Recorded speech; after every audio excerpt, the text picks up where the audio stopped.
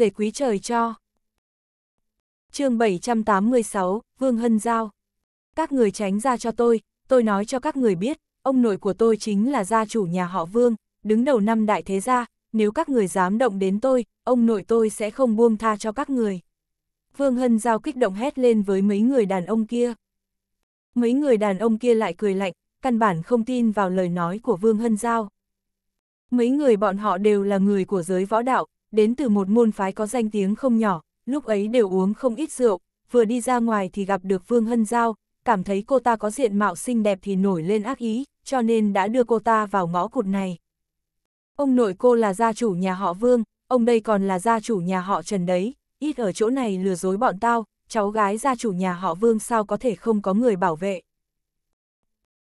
Audio điện tử võ tấn bền Em gái, em đừng sợ, bọn này cũng không phải người xấu, chỉ cần em nghe lời thì bọn này sẽ không làm khó em, hơn nữa sẽ làm em sung sướng, được không? Ha ha, quả nhiên vẫn là con gái ngoài xã hội đẹp, còn nhỏ như vậy mà nhìn đã ngon thế này rồi, ở núi sâu rừng già sao có thể gặp được người đẹp thế này. Vương Hân Giao thấy mấy người này căn bản không tin lời mình, lòng nóng như lửa đối, trong lòng chỉ còn lại tuyệt vọng. Hai người Lâm Thanh Diện và Trần Tài Anh nhìn thấy cảnh này, nếu người đang bị ép buộc trong góc kia là một cô gái mà bọn họ không quen biết, bọn họ đã muốn ra tay dạy dỗ mấy gã kia. Nhưng người này là Vương Hân Giao, bọn họ lại do dự không biết có nên ra tay hay không. Cứu hay không cứu, Trần Tài Anh hỏi Lâm Thanh Diện. Anh cảm thấy thế nào? Lâm Thanh Diện hỏi lại. Theo tôi thấy, vẫn là không nên cứu, tuy nói cô ta còn nhỏ nhưng dù sao cũng là người nhà họ Vương, bọn họ đều là người đang cố ý muốn giết cậu, cậu cứu cô ta, ngược lại cô ta còn có thể giết cậu, việc gì phải gây thêm phiền toái cho chính mình. Trần Tài Anh nói. Lâm Thanh Diện khẽ cười, mở miệng nói, biết đâu tôi cứu cô ta một lần, cô ta không nghĩ hại tôi nữa thì sao? Nói xong, Lâm Thanh Diện bèn đi về phía mấy người đàn ông kia. Xem tình hình trước mắt, anh và năm đại thế gia quả thật là như nước với lửa, hơn nữa lần trước cô nhóc này còn châm chọc diện mạo anh không anh Tuấn, nhưng đây cũng không phải lý do Lâm Thanh Diện đứng ngồi không yên. Trong lòng anh có giới hạn riêng, nếu người hôm nay là Vương Thủ Hạc, anh có thể rời đi luôn mà không thèm nhìn một cái, nhưng Vương Hân Giao cùng lắm chỉ là cô nhóc không hiểu sự đời, còn chưa hiểu nhiều chuyện, lúc Lâm Thanh Diện nhìn đến cô ta, anh sẽ nghĩ đến việc cô ta đang còn là một đứa trẻ vị thành niên đầu tiên, về phần ân oán với nhà họ Vương, cũng không phải do Vương Hân Giao tạo thành, Lâm Thanh Diện không cần thiết phải chút lửa giận lên một đứa trẻ. Vương Hân Giao đang ở trong tuyệt vọng, ngay lúc đó, Lâm Thanh Diện xuất hiện ngay ở phía sau mấy người đàn ông, Vương Hân Giao lập tức ngây ngẩn cả người. Lúc ấy, trong lòng cô ta có rất nhiều hy vọng, hy vọng ông nội của mình sẽ đột nhiên xuất hiện, cứu cô ta ra khỏi cảnh này, cô ta hy vọng sẽ có người hành hiệp trượng nghĩa xuất hiện, giúp cô ta tránh thoát được một kiếp. Nhưng duy nhất một tình huống không nghĩ đến, người xuất hiện chính là Lâm Thanh Diện. Lâm Thanh Diện vươn tay, vỗ vai một trong số những người đàn ông, mở miệng nói cô ấy còn là đứa trẻ, các người làm như vậy có phải hơi xúc sinh rồi không? Người kia quay đầu lại liếc nhìn Lâm Thanh Diện một cái, bởi vì uống rượu cho nên nhất thời không nhận ra người trước mắt là ai, hét ầm lên em mờ sau nó, mày là thằng nào, ít ở chỗ này xen vào việc của người khác, nhanh cút sang một bên cho tao. Mấy người khác cũng đều quay ra nhìn Lâm Thanh Diện, trên mặt đầy vẻ khinh thường. Dám ảnh hưởng đến chuyện tốt của ông, thật sự là không có mắt, các anh, chúng ta dạy dỗ thằng nhóc này trước rồi lại chơi với cô em này. Mấy người này đều không để Lâm Thanh Diện vào mắt, tuy rằng bọn họ chính là mấy kẻ xếp cuối của môn phái nhưng tốt xấu gì cũng coi như là người tập võ, ở xã hội bình thường này có thể nghênh ngang mà đi. Lâm Thanh Diện bĩu môi, nắm lấy tay một người, dùng chút lực vặn gãy cánh tay của kẻ đó. Mấy người kia thấy thế đều hoảng sợ, lúc này mới muốn cùng nhau chặn Lâm Thanh Diện lại. Lâm Thanh Diện ra tay rất lưu loát, mấy kẻ rác rưởi đứng cuối môn phái như vậy, ở trước mặt anh căn bản là không làm được gì. Cũng chỉ trong chớp mắt, mấy người kia đều bị đánh ngã xuống đất. Bị đánh trúng vài đòn rồi, mấy người này cũng tỉnh táo hơn không ít, lúc này bọn họ nhìn về phía Lâm Thanh Diện, đột nhiên phát hiện đây không phải người đã toàn thắng liên tục 4 ngày Lâm Thanh Diện sao. Lâm Thanh Diện, là Lâm Thanh Diện, chúng mày mù à, Lâm Thanh Diện mà cũng không nhận ra. Em mờ sao nó, mày còn có mặt mũi nói bọn tao, rõ ràng mày là đứa mắng anh ta đầu tiên. Lâm Thanh Diện cảm thấy mấy người này to tiếng có hơi ồn ào, thẳng chân cho mỗi người một cước, làm cho bọn họ bất tỉnh ngay lập tức. Vương Hân Giao nhìn thấy Lâm Thanh Diện giúp mình giải quyết mấy tên này, đột nhiên có chút không kịp phản ứng. Ông nội cô vẫn luôn nói với cô rằng Lâm Thanh Diện là cái u ác tính, là kẻ thù của nhà họ Vương bọn họ, là kẻ bại hoại tội ác tài trời, cho nên nhất định phải diệt trừ anh ta, nhưng mà hiện tại kẻ xấu tội tác tài trời này đã cứu cô khỏi đám người xấu xa nhất, chuyện này hoàn toàn đánh tan suy nghĩ của cô. Cô ta nhìn chằm chằm Lâm Thanh Diện một hồi, lúc sau mới chậm rãi nói, anh cứu tôi, là vì bắt tôi để uy hiếp ông nội của tôi à? Nếu là như vậy, bây giờ tôi sẽ tự sát ngay trước mặt anh, tôi sẽ không để anh thực hiện được ý đồ. Nghe được lời của Vương Hân Giao, Lâm Thanh Diện bỗng nhiên cảm thấy giờ khóc giờ cười, không ngờ rằng cô nhóc này còn nhỏ tuổi mà tâm tư lại phức tạp như thế. Tuổi nhỏ mà không nghĩ ra chuyện bình thường được à, nhanh về nhà đi, đừng lang thang bên ngoài nữa. Gặp phải chuyện thế này thì không ai giúp đâu. Lâm Thanh Diện nói với Vương Hân Giao một câu như thế rồi quay người đi ra ngoài ngõ nhỏ luôn. Trần Tài Anh luôn đứng nhìn, thấy Lâm Thanh Diện đi tới thì cười nói, tôi đã nói dù cậu có cứu cô ta thì trong lòng cô ta cũng không nhất định sẽ biết ơn cậu, cậu xem cô ta còn tưởng cậu cứu cô ta vì có mục đích gì kia. Lâm Thanh Diện không nói chuyện, tiếp tục đi ra bên ngoài. Vương Hân Giao nhìn chằm chằm bóng dáng Lâm Thanh Diện, sau đó mới cắn chặt răng nhanh chân chạy theo.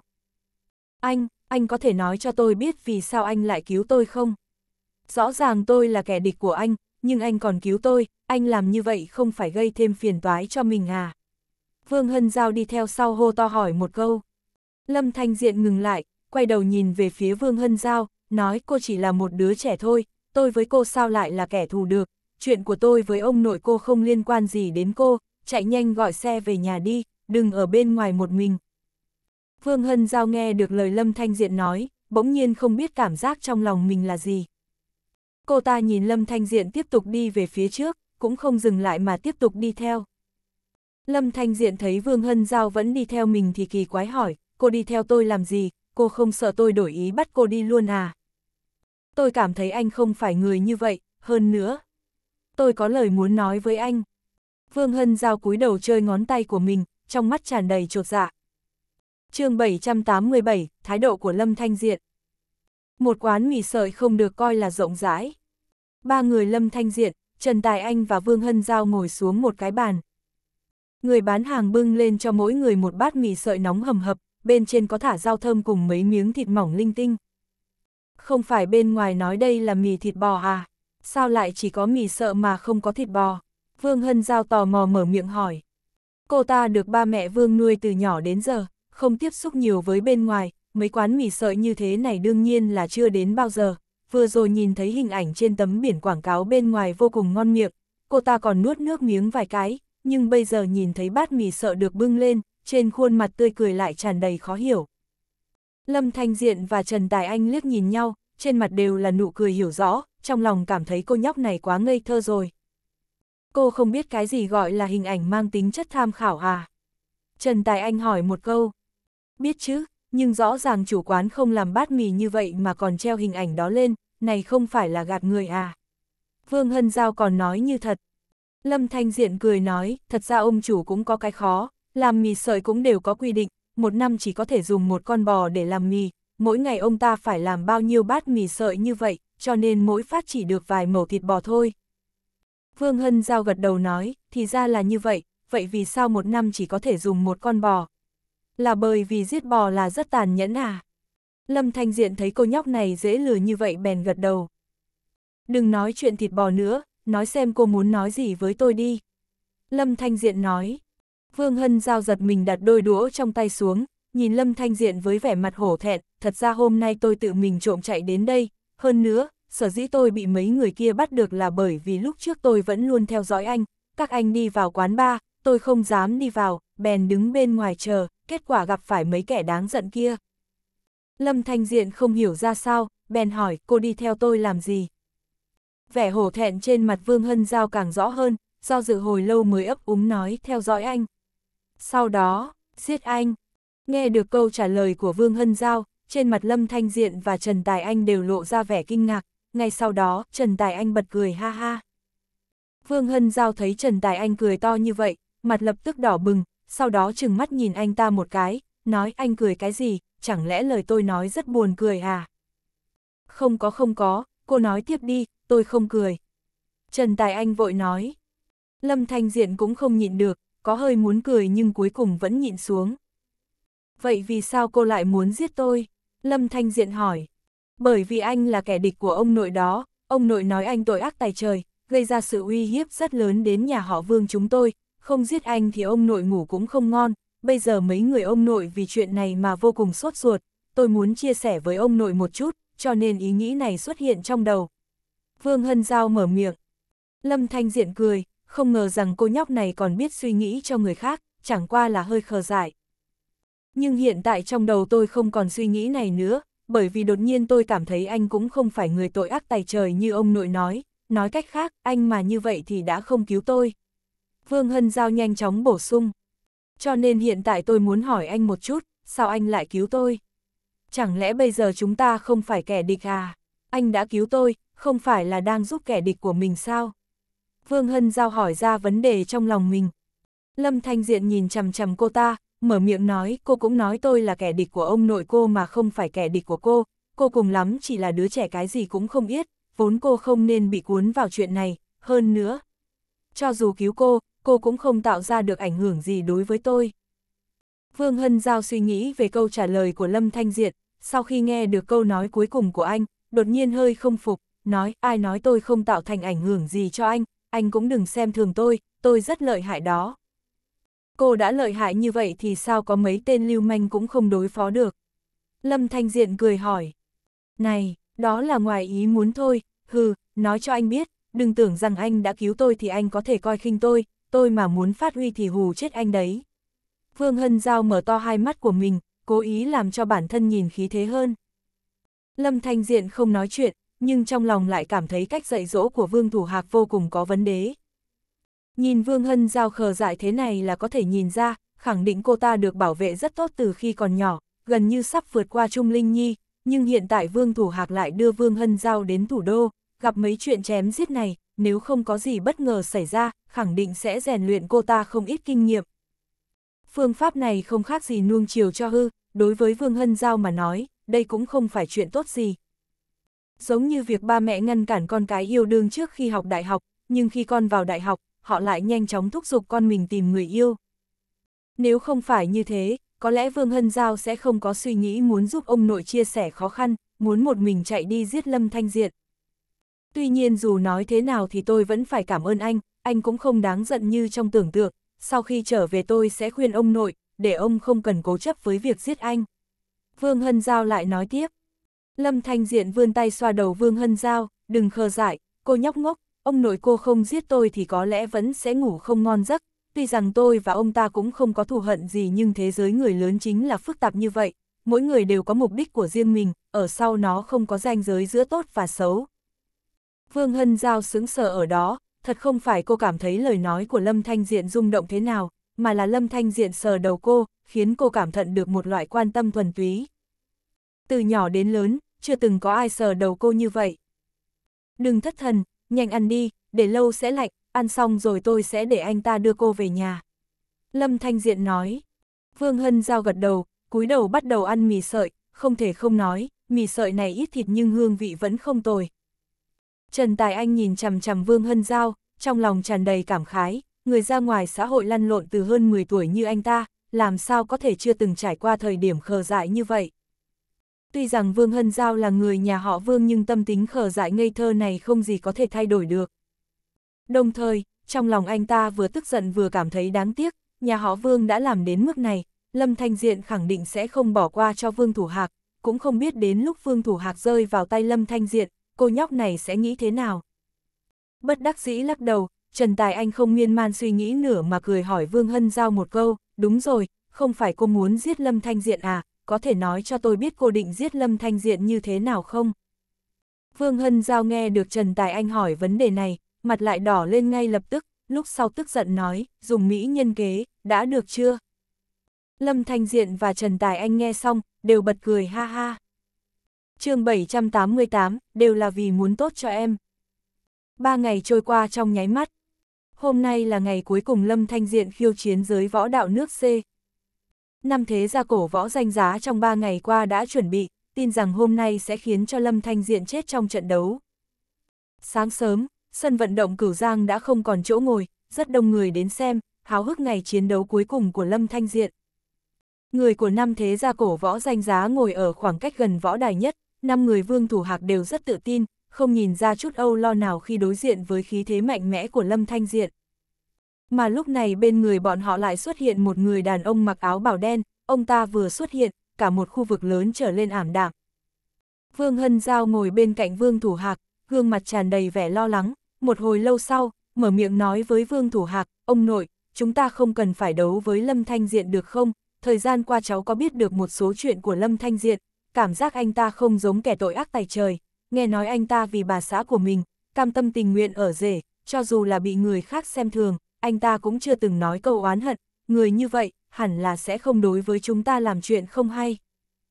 Vương Thủ Hạc nghe Vương Hân Giao nói vậy, sắc mặt tối sầm, mở miệng nói, con nít biết gì, căn bản không hiểu lòng người hiểm ác, anh ta đối với bà xã của mình tốt, nhưng không có nghĩa là đối với chúng ta tốt, anh ta còn sống, đối với nam thế gia cổ võ danh giá chúng ta ngàn lần bị uy hiếp, cho nên phải trừ bỏ anh ta.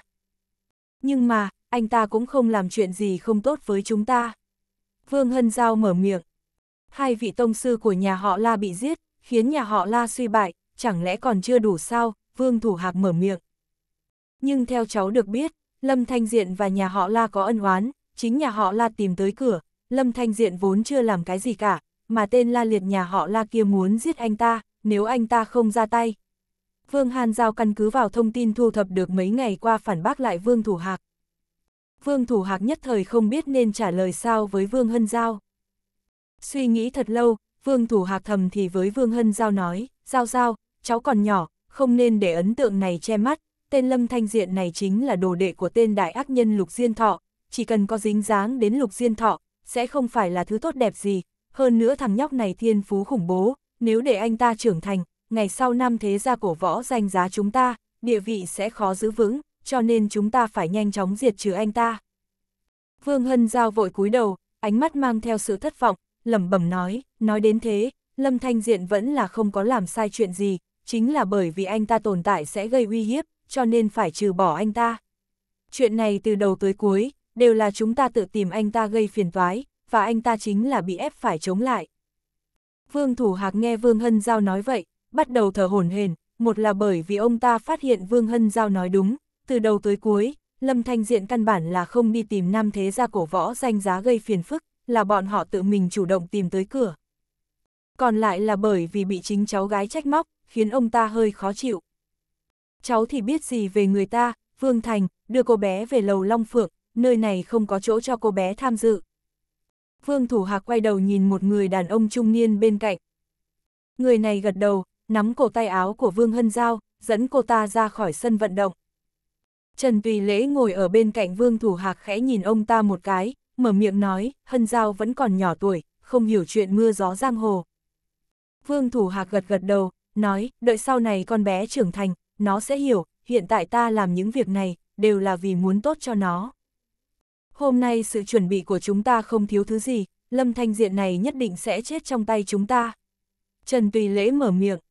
Vương Thủ Hạc gật đầu, lúc sau ánh mắt lại dừng trên thân người đàn ông mặc áo bảo đen, trong đôi mắt hiện lên sự an tâm. Ẩn mình trong lớp áo bảo màu đen, không ai có thể nhìn thấy vẻ mặt của ông ta, lúc này trên mặt ông ta đang nở nụ cười châm chọc, không biết đang nghĩ gì. Không bao lâu, Lâm Thanh Diện xuất hiện ở giữa sân vận động, ngay trên võ đài, cả sân vận động đồng loạt vang lên tiếng cổ vũ nhiệt liệt. Hừ, cứ để cho thằng nhóc này đắc ý một hồi, qua hôm nay, anh ta sẽ không còn cơ hội đắc ý như vậy nữa đâu. Ông chủ nhà họ Phương ra Phương Thần hừ lạnh một tiếng. Lâm Thanh Diện nhìn toàn bộ hiện trường, ánh mắt cuối cùng lại dừng ở năm thế gia cổ võ danh giá, trong lòng anh đã đoán trước đến năm thế gia cổ võ danh giá chắc chắn vì chuyện ngày hôm nay mà chuẩn bị chu đáo, nhưng anh không lo lắng, mặc kệ năm thế gia cổ võ danh giá dùng cách gì đối phó với anh, anh vẫn tỏ thái độ vô cùng thong dong. Khi ánh mắt anh nhìn đến người đàn ông mặc áo bảo đen, hơi lo lắng một chút, nếu anh nhớ không nhầm, chỉ vài ngày trước, năm thế gia cổ võ danh giá không có người này. Người đàn ông mặc áo bào đen này đem đến một cảm giác phi thường, giống như rắn độc, dường như có thể ra tay bất kỳ lúc nào đoạt mạng người ta. Nhưng cũng không chú ý nhiều vào người đàn ông mặc áo bào đen, Lâm Thanh Diện điều chỉnh lại trạng thái của mình, sau đó tuyên bố cuộc khiêu chiến ngày hôm nay chính thức bắt đầu, mời các đại cao thủ lên võ đài. Rất nhanh chóng, có một tông sư cảnh cao thủ khí thế mạnh mẽ lên võ đài, bắt đầu chiến đấu cùng Lâm Thanh Diện. Hôm nay đến khiêu chiến Lâm Thanh Diện đều là cao thủ, đã được năm thế gia cổ võ danh giá tuyển chọn tỉ mỉ, bọn họ trước mắt tìm các tông sư cao thủ đến đây, phải đánh bại hạ uy phong của Lâm Thanh Diện. Cho nên ngay khi trận đấu vừa bắt đầu, Lâm Thanh Diện đã cảm nhận được chắc chắn có áp lực. Nhưng với tình huống này, Lâm Thanh Diện lại cực kỳ hưng phấn, chỉ có gặp người khiêu chiến thích hợp, mới có thể tạo đột phá cho chính mình, chứ nếu đối mặt với mấy tên mèo ba chân, thực lực của Lâm Thanh Diện không chỉ không tăng lên, rất có có thể còn vì vậy mà đi xuống. Mặc dù đối thủ của mấy trận chiến trước đây mạnh mẽ, nhưng so với năm thế gia cổ võ danh giá ra tay thì vẫn yếu hơn một chút, cho nên Lâm Thanh Diện cứ như trước, thoải mái chiến đấu, thắng 5 trận liên tiếp. Đến trận chiến thứ sau, người đã từng thua dưới tay Lâm Thanh Diện, phương thần lên võ đài, khiến cho toàn bộ người trong sân vận động cười ồ lên. Nếu ta nhớ không lầm, ông đã từng bại dưới tay ta một lần, chẳng lẽ còn muốn thua thêm lần nữa? Lâm Thanh Diện nhìn thấy đối diện mình chính là Phương Thần, mở miệng nói một câu. Phương Thần cười lạnh một tiếng, nói, nếu ta đã dám lên đây lần thứ hai, tất nhiên ta có thể chiến thắng, cậu không có quy định không được đấu lần thứ hai phải không? Lâm Thanh Diện bĩu môi, nói, vậy ông chỉ có thể thua lần thứ hai. Phương Thần cười nhạo, lúc sau lấy trong áo ra một viên thuốc, bỏ vào miệng. Lâm Thanh Diện, nói cho anh biết, hôm nay là ngày chết của anh, cho dù anh có năng lực bằng trời, cũng không thể tiếp tục chiến thắng. Lâm Thanh Diện nheo mắt lại, trong lòng dâng lên cảm giác bất an. Ngay sau đó, khuôn mặt của Phương Thần bắt đầu đỏ bừng, khí thế toàn thân tăng cao, vượt qua trạng thái đỉnh phong trước đó của ông ta. chương 789, bốn người cùng lên đi. Khai dương hợp khí đan, Lâm Thanh Diện không khỏi hỏi khi thấy sự thay đổi của Phương Thần. Phương Thần cười một tiếng rồi nói, viên đan dược này còn lợi hại hơn khai dương hợp khí nhiều, Lâm Thanh Diệt chịu chết đi. Nói xong Phương Thần lao về phía Lâm Thanh Diệt, mang theo một cú đấm kinh thiên động địa, đập vào đầu Lâm Thanh Diệt.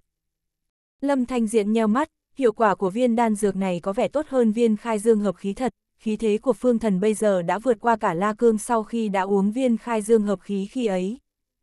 Anh không hề lơ là, lập tức vận chuyển huyền kinh, đánh ra một đòn với tất cả sức mạnh, đỡ lại cú đấm của Phương Thần. Khí tức hai người va vào nhau tạo thành một vòng xoáy gió giỏ ngay trên võ đài, sau khi phân tán ra xung quanh, quần áo của nhiều người có mặt đều bị thổi tung. Lâm Thanh Diện đã đánh giá thấp sức mạnh nắm đấm này của Phương Thần, sau khi đỡ nắm đấm của hắn, anh đã liên tục lùi về sau vài bước mới phủi được hết phần lực còn lại trên người.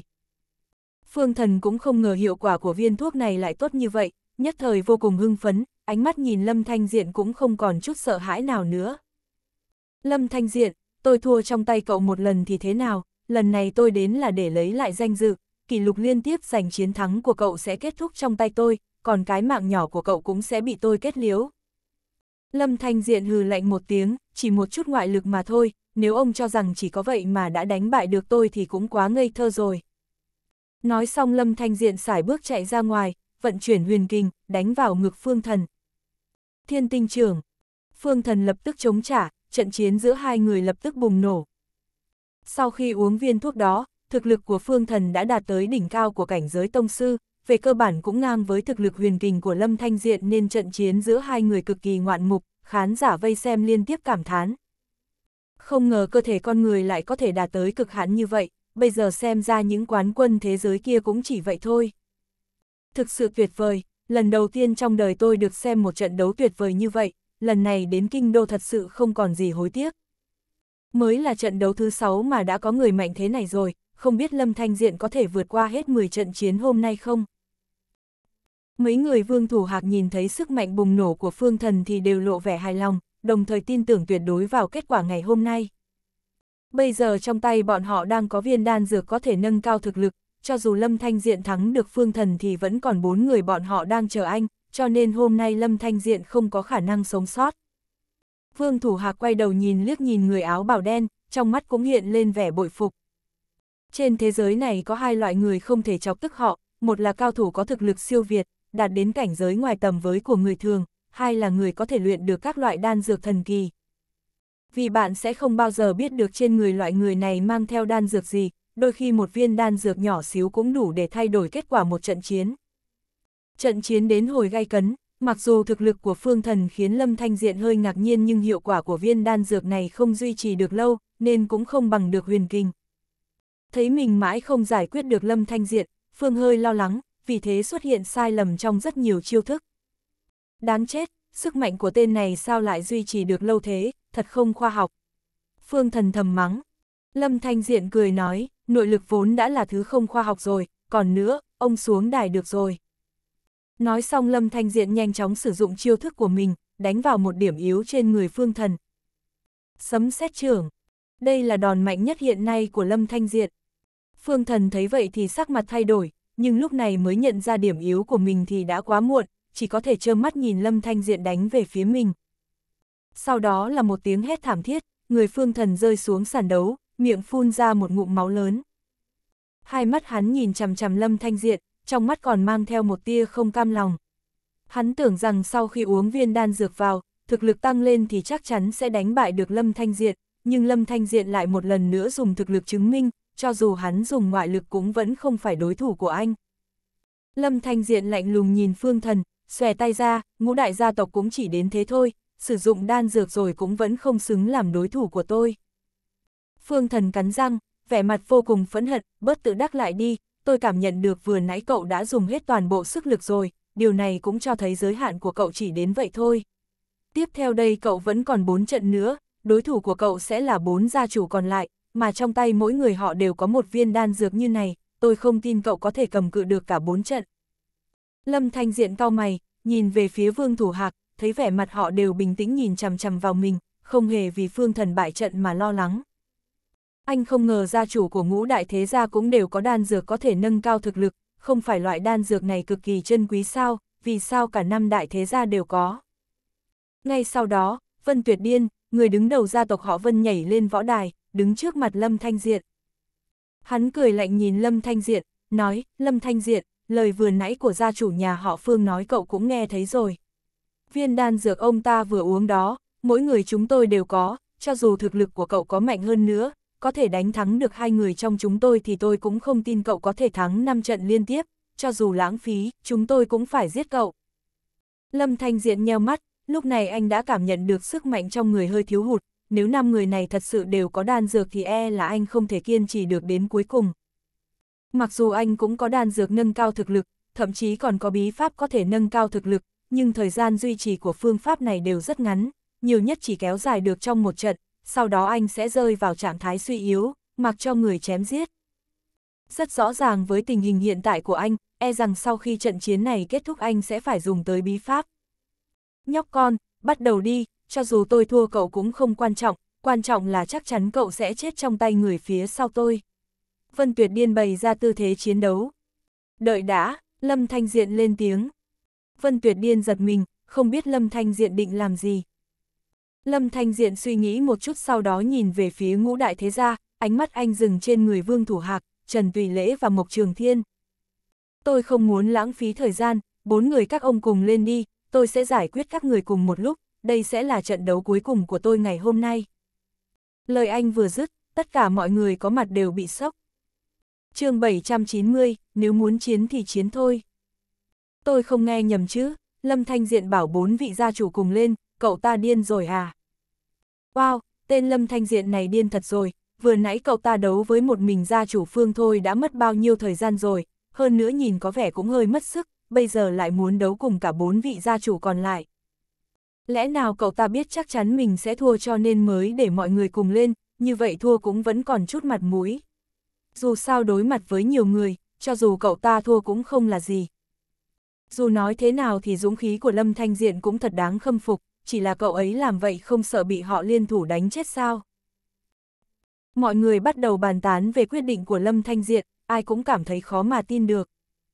Mấy người vương thủ hạc cũng hơi bất ngờ, họ đều đang chờ từng người lên xử lý Lâm Thanh Diệt, nhưng không ngờ Lâm Thanh Diệt lại bảo họ cùng nhau lên sàn. Lẽ nào thằng nhóc này biết hôm nay mình sẽ chết nên đâm lao theo lao luôn. Trần Tùy Lễ và Mộc Trường Thiên đều quay lại nhìn Vương Thủ Hạc, nhìn nhau đầy thắc mắc. Gia chủ Vương, bây giờ chúng ta phải làm sao? Trần Tùy Lễ hỏi. Vương Thủ Hạc trầm ngâm, một lúc lâu sau hắn mới đứng dậy nói, nếu cậu ta đã tự đưa ra yêu cầu này thì chúng ta cứ thỏa mãn cậu ta đi. Chuyện đã đến nước này, mặt mũi cũng chẳng còn quan trọng nữa, dù bị người khác nói lấy đông nhiếp yếu, chiến thắng không vẻ vang thì hôm nay cũng nhất định phải loại trừ thằng nhóc này.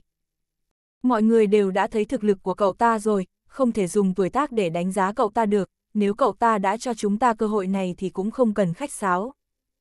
Nói xong Vương Thủ Hạc đi về phía võ đài. Trần Tùy Lễ và Mộc Trường Thiên đều gật đầu, đi theo Vương Thủ Hạc lên sàn đấu. So với thể diện, giải quyết được Lâm Thanh Diện mới là chuyện quan trọng họ cần làm bây giờ. Ba người cùng nhau bước lên võ đài, bốn vị cao thủ hàng đầu cảnh giới tông sư đứng thành hàng, đều dừng dưng nhìn Lâm Thanh Diện. Sau khi nghe quyết định của Lâm Thanh Diện, tất cả mọi người trong gia đình họ Lâm đang ngồi trong thính phòng đều lo lắng. Mặc dù họ đều biết thực lực của Lâm Thanh Diện không thể xem thường, nhưng anh muốn thách đấu bốn cao thủ cao thủ thế gia cổ võ thực sự khiến tất cả đều phải kinh ngạc.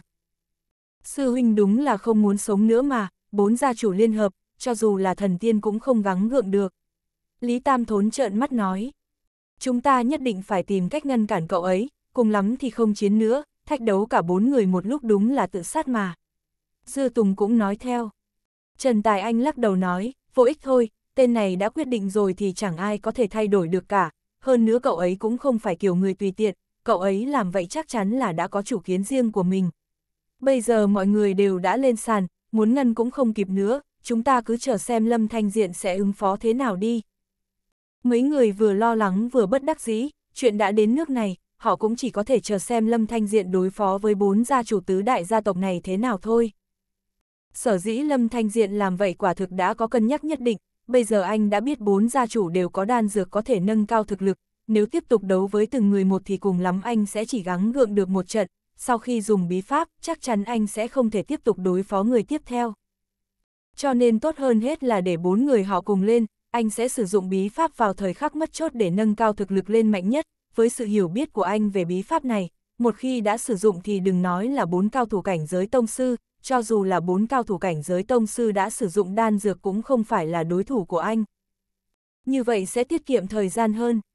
Đương nhiên cũng chỉ có người tu luyện huyền kình và bí pháp như Lâm Thanh Diện mới dám làm vậy, nếu đổi lại là cao thủ nội lực khác, dám làm vậy thì chỉ có một con đường chết. Bây giờ tất cả mọi người đều cảm thấy Lâm Thanh Diện làm vậy là đang tìm chết, nhưng đó là vì họ không biết con át chủ bài của anh mạnh đến thế nào. Người áo đen ngồi trong thính phòng nhìn bốn gia chủ đều đã lên võ đài, trong lòng chợt cười khẩy. Đúng là một tên ngu ngốc, nếu đánh từng người một thì cậu còn có thể sống sót, nhưng cậu lại bảo bốn người họ cùng lên thì đúng là chê mình chết chưa đủ nhanh. Đan dược tôi đưa cho họ cũng không phải là trò đùa, nếu bốn người họ cùng sử dụng đan dược rồi đấu với cậu thì dù là đại la kim tiên hạ phàm cũng không cứu được. Trên võ đài, bốn người vương thủ hạc nhìn Lâm Thanh Diệt, trong mắt đầy vẻ sát khí. Lâm Thanh Diện nhìn bốn người họ rồi cười nói, các ông đúng là không khách sáo, tôi nói cùng lên mà các ông cũng cùng lên thật, các ông làm vậy không sợ mất danh tiếng gia tộc à. Vương Thủ Hạc hừ lạnh, loại bỏ được cậu còn quan trọng hơn danh tiếng. Nhóc con, là cậu tự nói, bây giờ muốn đổi ý cũng đã muộn. Mộc Trường Thiên hét lên với Lâm Thanh Diện. Lâm Thanh Diện bật cười, tôi đâu có nói hối hận, chỉ đang giễu cợt chút thôi. Hừ, thật không biết cậu nghĩ cái gì, một mình cậu muốn thách đấu bốn chúng tôi, lẽ nào cậu cảm thấy mình không sống nổi nên mới muốn chết nhanh một chút? Vân Tuyệt Điên nói, các ông nghĩ nhiều rồi, các ông cho rằng bốn người các ông cùng lên là có thể đánh bại được tôi sao? Vậy tôi chỉ có thể nói là các ông quá ngây thơ đi. Lâm Thanh Diện đáp lại, cậu chết đến nơi rồi đừng có nói những lời vô nghĩa nữa, cậu không thắng được bốn người chúng tôi khi liên hợp, lại thêm viên đan dược tăng thêm sức mạnh của mỗi người đâu, dù có giả vờ thế nào thì cũng không thay đổi được kết quả này. Trần Tùy Lễ nói, Lâm Thanh Diện bĩu môi, thầm nghĩ mấy người này đúng là rất tự tin vào khả năng liên hợp của mình, không biết sau khi thua trong tay anh thì họ sẽ có phản ứng gì. Đừng nhiều lời nữa, ra tay đi, đánh xong trận này tôi sẽ về nhà nghỉ ngơi. Lâm Thanh Diện nói, Vương Thủ Hạc lạnh lùng hừ một tiếng, sợ là cậu không có cơ hội này. Nói xong ông ta lấy viên đan dược ra bỏ vào miệng. Uống viên đan dược này xong đảm bảo sẽ có thể chiến đấu với cậu ta trong trạng thái tốt nhất, lần này nhất định không được có sai sót nữa. Ba người Trần Tùy Lễ cũng không chút do dự, lấy đan dược của mình ra bỏ vào miệng. Gần như ngay lập tức, trên võ đài có bốn luồng khí bay lên trời, tất cả mọi người có mặt đều có thể cảm nhận được một luồng từ trường vô hình xung quanh mình khiến họ cũng cảm thấy một ngạt. Lâm Thanh Diện thấy bốn người họ dứt khoát như vậy thì lông mày cũng nhướn lên, nhưng không hề hoảng loạn, ngược lại trên khuôn mặt bình tĩnh của anh còn lộ ra chút hưng phấn. Nếu đã muốn chiến thì chiến thôi. Audio điện tử võ tấn bền. chương 791, uy lực của bí pháp. Lâm Thanh Diện không sử dụng bí pháp trước, anh muốn nhìn xem rốt cuộc cực hạn của trạng thái huyền kình đại thành của mình ở chỗ nào. Sau khi bốn người vương thủ hạc ăn xong đan dược, vì muốn tiết kiệm thời gian, họ tiếp tục lao tới phía Lâm Thanh Diện, bốn người tạo thành một thế trận vây quanh để Lâm Thanh Diện ở giữa.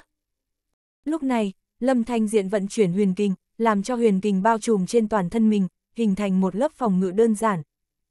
Lấy bốn địch một, điều quan trọng nhất là ngăn cản nơi có người tấn công đến, Lâm Thanh Diện không có ba đầu sáu tay, cho nên chỉ có thể làm cách này để giảm bớt sát thương mà mình phải nhận.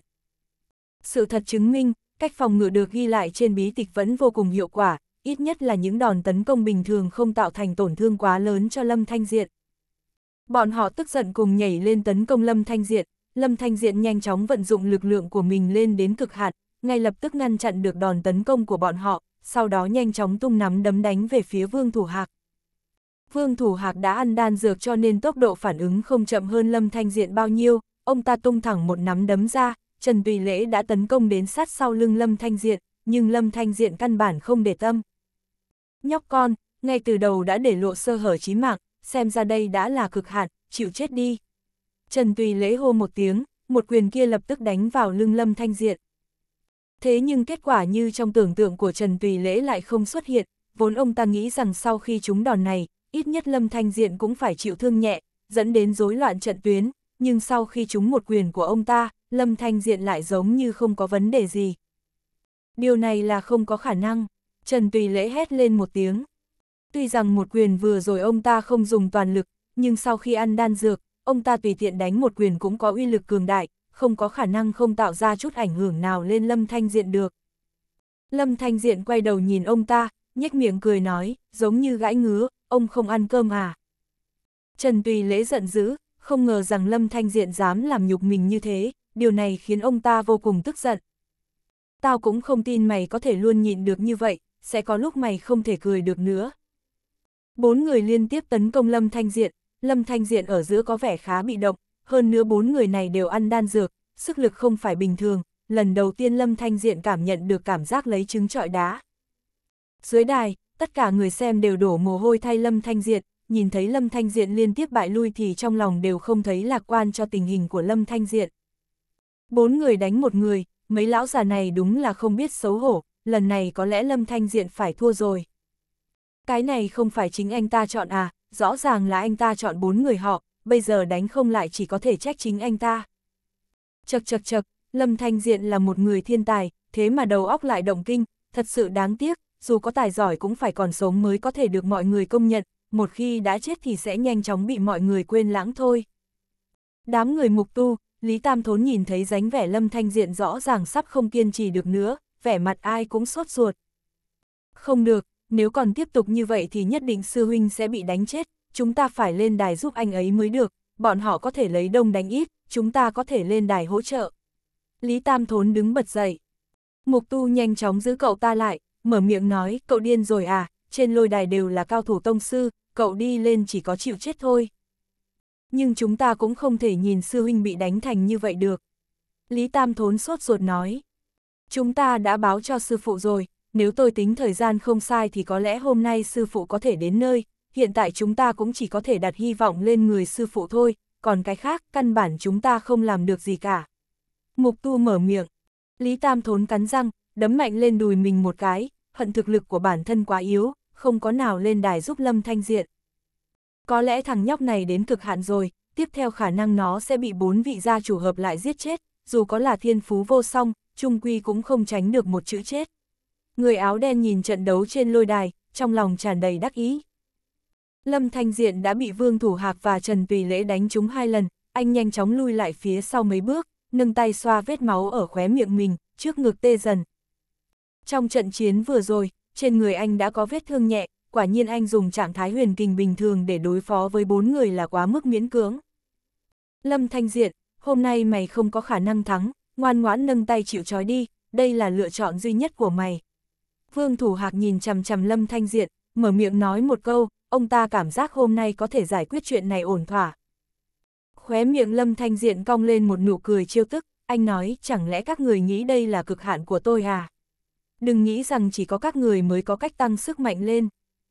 Nói xong, Lâm Thanh Diện vận hành bí pháp tăng cường sức mạnh trong cơ thể, chỉ cảm thấy huyền kình từ khắp trong cơ thể bắt đầu sôi trào, cả cơ thể anh đều bắt đầu hấp thu năng lượng huyền kình đang phát ra, làn da của Lâm Thanh Diện dần biến thành màu đỏ, giống như bị bỏ vào nước sôi. Một luồng khí phóng thẳng lên trời lập tức bao phủ cả sân vận động, kiến trúc của sân vận động vốn kín, không thể có gió lọt vào, nhưng lúc này quần áo mọi người đều bay lên theo từng dòng khí, đây là khí trên người Lâm Thanh Diên ngưng tụ tạo thành gió. Khí thế trên người Lâm Thanh Diện đã vượt qua khí thể cả bốn người vương thủ hạc cộng lại, ép bốn người vương thủ đức khó có thể mở mắt. Lâm Thanh Diện chỉ cảm thấy ở giữa cơ thể của mình như có một cái lò phản ứng năng lượng, có vô số tận cùng năng lượng đang trào ra các bộ phận trong cơ thể. Lâm Thanh Diện biết bí pháp này có thể làm cho thực lực của mình tăng lên vô cùng mạnh, nhưng anh không nghĩ tới bí pháp này lại khủng bố như vậy, anh cảm thấy cơ thể mình sắp bị lực lượng tăng đột biến này ép nổ tung. Bốn người vương thủ hạc đều sướng sờ nhìn Lâm Thanh Diện, lúc này Lâm Thanh Diện đã thay đổi đến mức có phần dọa người, dù thế nào bọn họ cũng không nghĩ đến tại thời điểm này mà Lâm Thanh Diện còn xảy ra biến hóa như vậy. Sao, sao lại thế này, thằng nhóc này, vẫn còn là người sao? Vân Tuyệt nhìn chằm chằm Lâm Thanh Diện, thì thảo nói. Khó, chẳng lẽ nó đã đột phá đến cảnh giới kia rồi? Những thay đổi trên người nó, chỉ có người ở cảnh giới kia mới có thể làm được đúng không? Vương Thủ Hạc cũng nhìn chằm chằm Lâm Thanh Diện. Người đàn ông áo đen ở dưới khán đài chờ mong Lâm Thanh Diện bị giết chết, nhưng nhìn thấy Lâm Thanh Diện thay đổi như vậy, ông ta lập tức đứng lên. Này, mẹ nó sao có thể? Chẳng lẽ thằng nhóc này đã chạm đến ngưỡng đó? Vốn mấy người Lý Tam Thốn còn đang lo lắng cho Lâm Thanh Diện, nhưng sau khi nhìn thấy thay đổi trên người Lâm Thanh Diện, cả bọn lập tức ngây dại. Lý Tam Thốn nhìn Lâm Thanh Diện, hồi lâu sau mới thì thảo tự nói một câu, sư. Sư huynh, đây là muốn tự nổ tung sao? chương 792, hư ảnh. Sau khi nghe thấy lời nói của Lý Tam Thốn, Mục Tu tát một cái lên đầu cậu ta, tự nổ tung cái đầu em, cậu ta là vì sức mạnh trong người bành trướng quá nhanh gây ra, cho dù có nổ cũng nhiều nhất là nổ mạch máu thôi. Lý Tam Thốn không nhúc nhích, nói tiếp, nổ mạch máu cũng đã trâu bò lắm rồi, sao sư huynh làm được thế?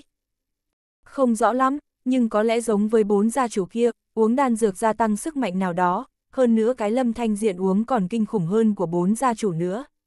Mục tu suy đoán, người mặc áo choàng đen ngồi ở xa xa sau cơn khiếp sợ cũng ngồi lại chỗ của mình, lẩm bẩm với tuổi tác của thằng nhóc này, dù thiên phú có mạnh hơn nữa cũng không thể tiếp xúc với ngưỡng cửa kia, có lẽ chỉ là mình nghĩ nhiều thôi, bây giờ cậu ta có thể đột nhiên bùng nổ ra sức mạnh kinh khủng thế này có lẽ cũng chỉ vì uống vào đan dược nào đó, nhưng hiệu quả của đan dược này thật sự có hơi mạnh, e rằng dù cốc chủ có ra tay cũng chưa chắc có thể luyện chế ra đan dược cấp bậc này, rốt cuộc cậu ta lấy đan dược từ nơi nào đến. Trong chốc lát, mọi người đều bắt đầu đoán vì sao Lâm Thanh Diện đột nhiên bùng nổ ra sức mạnh kinh khủng như vậy, đa số người đều cho rằng anh uống đan dược, dù sao không phải ai cũng có thể hiểu được thứ gọi là bí pháp này. Sau khi cảm nhận xong sức mạnh cuồn cuộn trong người mình, Lâm Thanh Diện có một cảm giác bức thiết muốn chút hết những sức mạnh trong cơ thể mình ra ngoài. Anh nhìn chằm chằm bốn người vương thủ hạc, cười nói, bây giờ trận chiến mới xem như chính thức bắt đầu, chỉ mong các người có thể chống lại sức mạnh của tôi. Dứt lời, Lâm Thanh Diện bay thẳng về phía bốn người như một viên đạn, vì tốc độ của anh quá nhanh, bầu không khí mơ hồ sinh ra tiếng nổ nho nhỏ. Trong lúc đó, sức mạnh của Lâm Thanh Diện gần như hóa thành thực chất, thổi quét về phía bốn người vương thủ hạc, tất cả mọi người ở đây đều là lần đầu tiên nhìn thấy sức mạnh của một người có thể đến trình độ gần như hóa thành thực thể như thế. Chuyện này đã không thể giải thích bằng lẽ thường nữa rồi. Chúng ta mau hợp tác tiếp đòn cậu ta đi, cậu ta quá mạnh, một người hoàn toàn không thể làm gì được. Vương thủ hạc la to một tiếng, sau đó nhanh chóng tập trung hết tất cả sức mạnh của mình lên trên bàn tay, ba người Trần Tùy Lễ cũng vội vàng đứng sau lưng Lâm Thanh Diện, tập trung tất cả sức mạnh lên người Vương Thủ Hạc. Lâm Thanh Diện đánh một trường về phía Vương Thủ Hạc, Vương Thủ Hạc dốc hết sức ngăn cản, sức mạnh giữa hai người va chạm vào nhau, lôi đài được làm từ kim loại lập tức lắc lư dữ dội, một vài chỗ nối thậm chí còn xuất hiện khe hở. Lâm Thanh Diện phóng thích ra sức mạnh trong người, lập tức cảm thấy vô cùng sảng khoái, cảm giác sắp bị sức mạnh làm cho nổ tung khi nãy lập tức giảm bớt.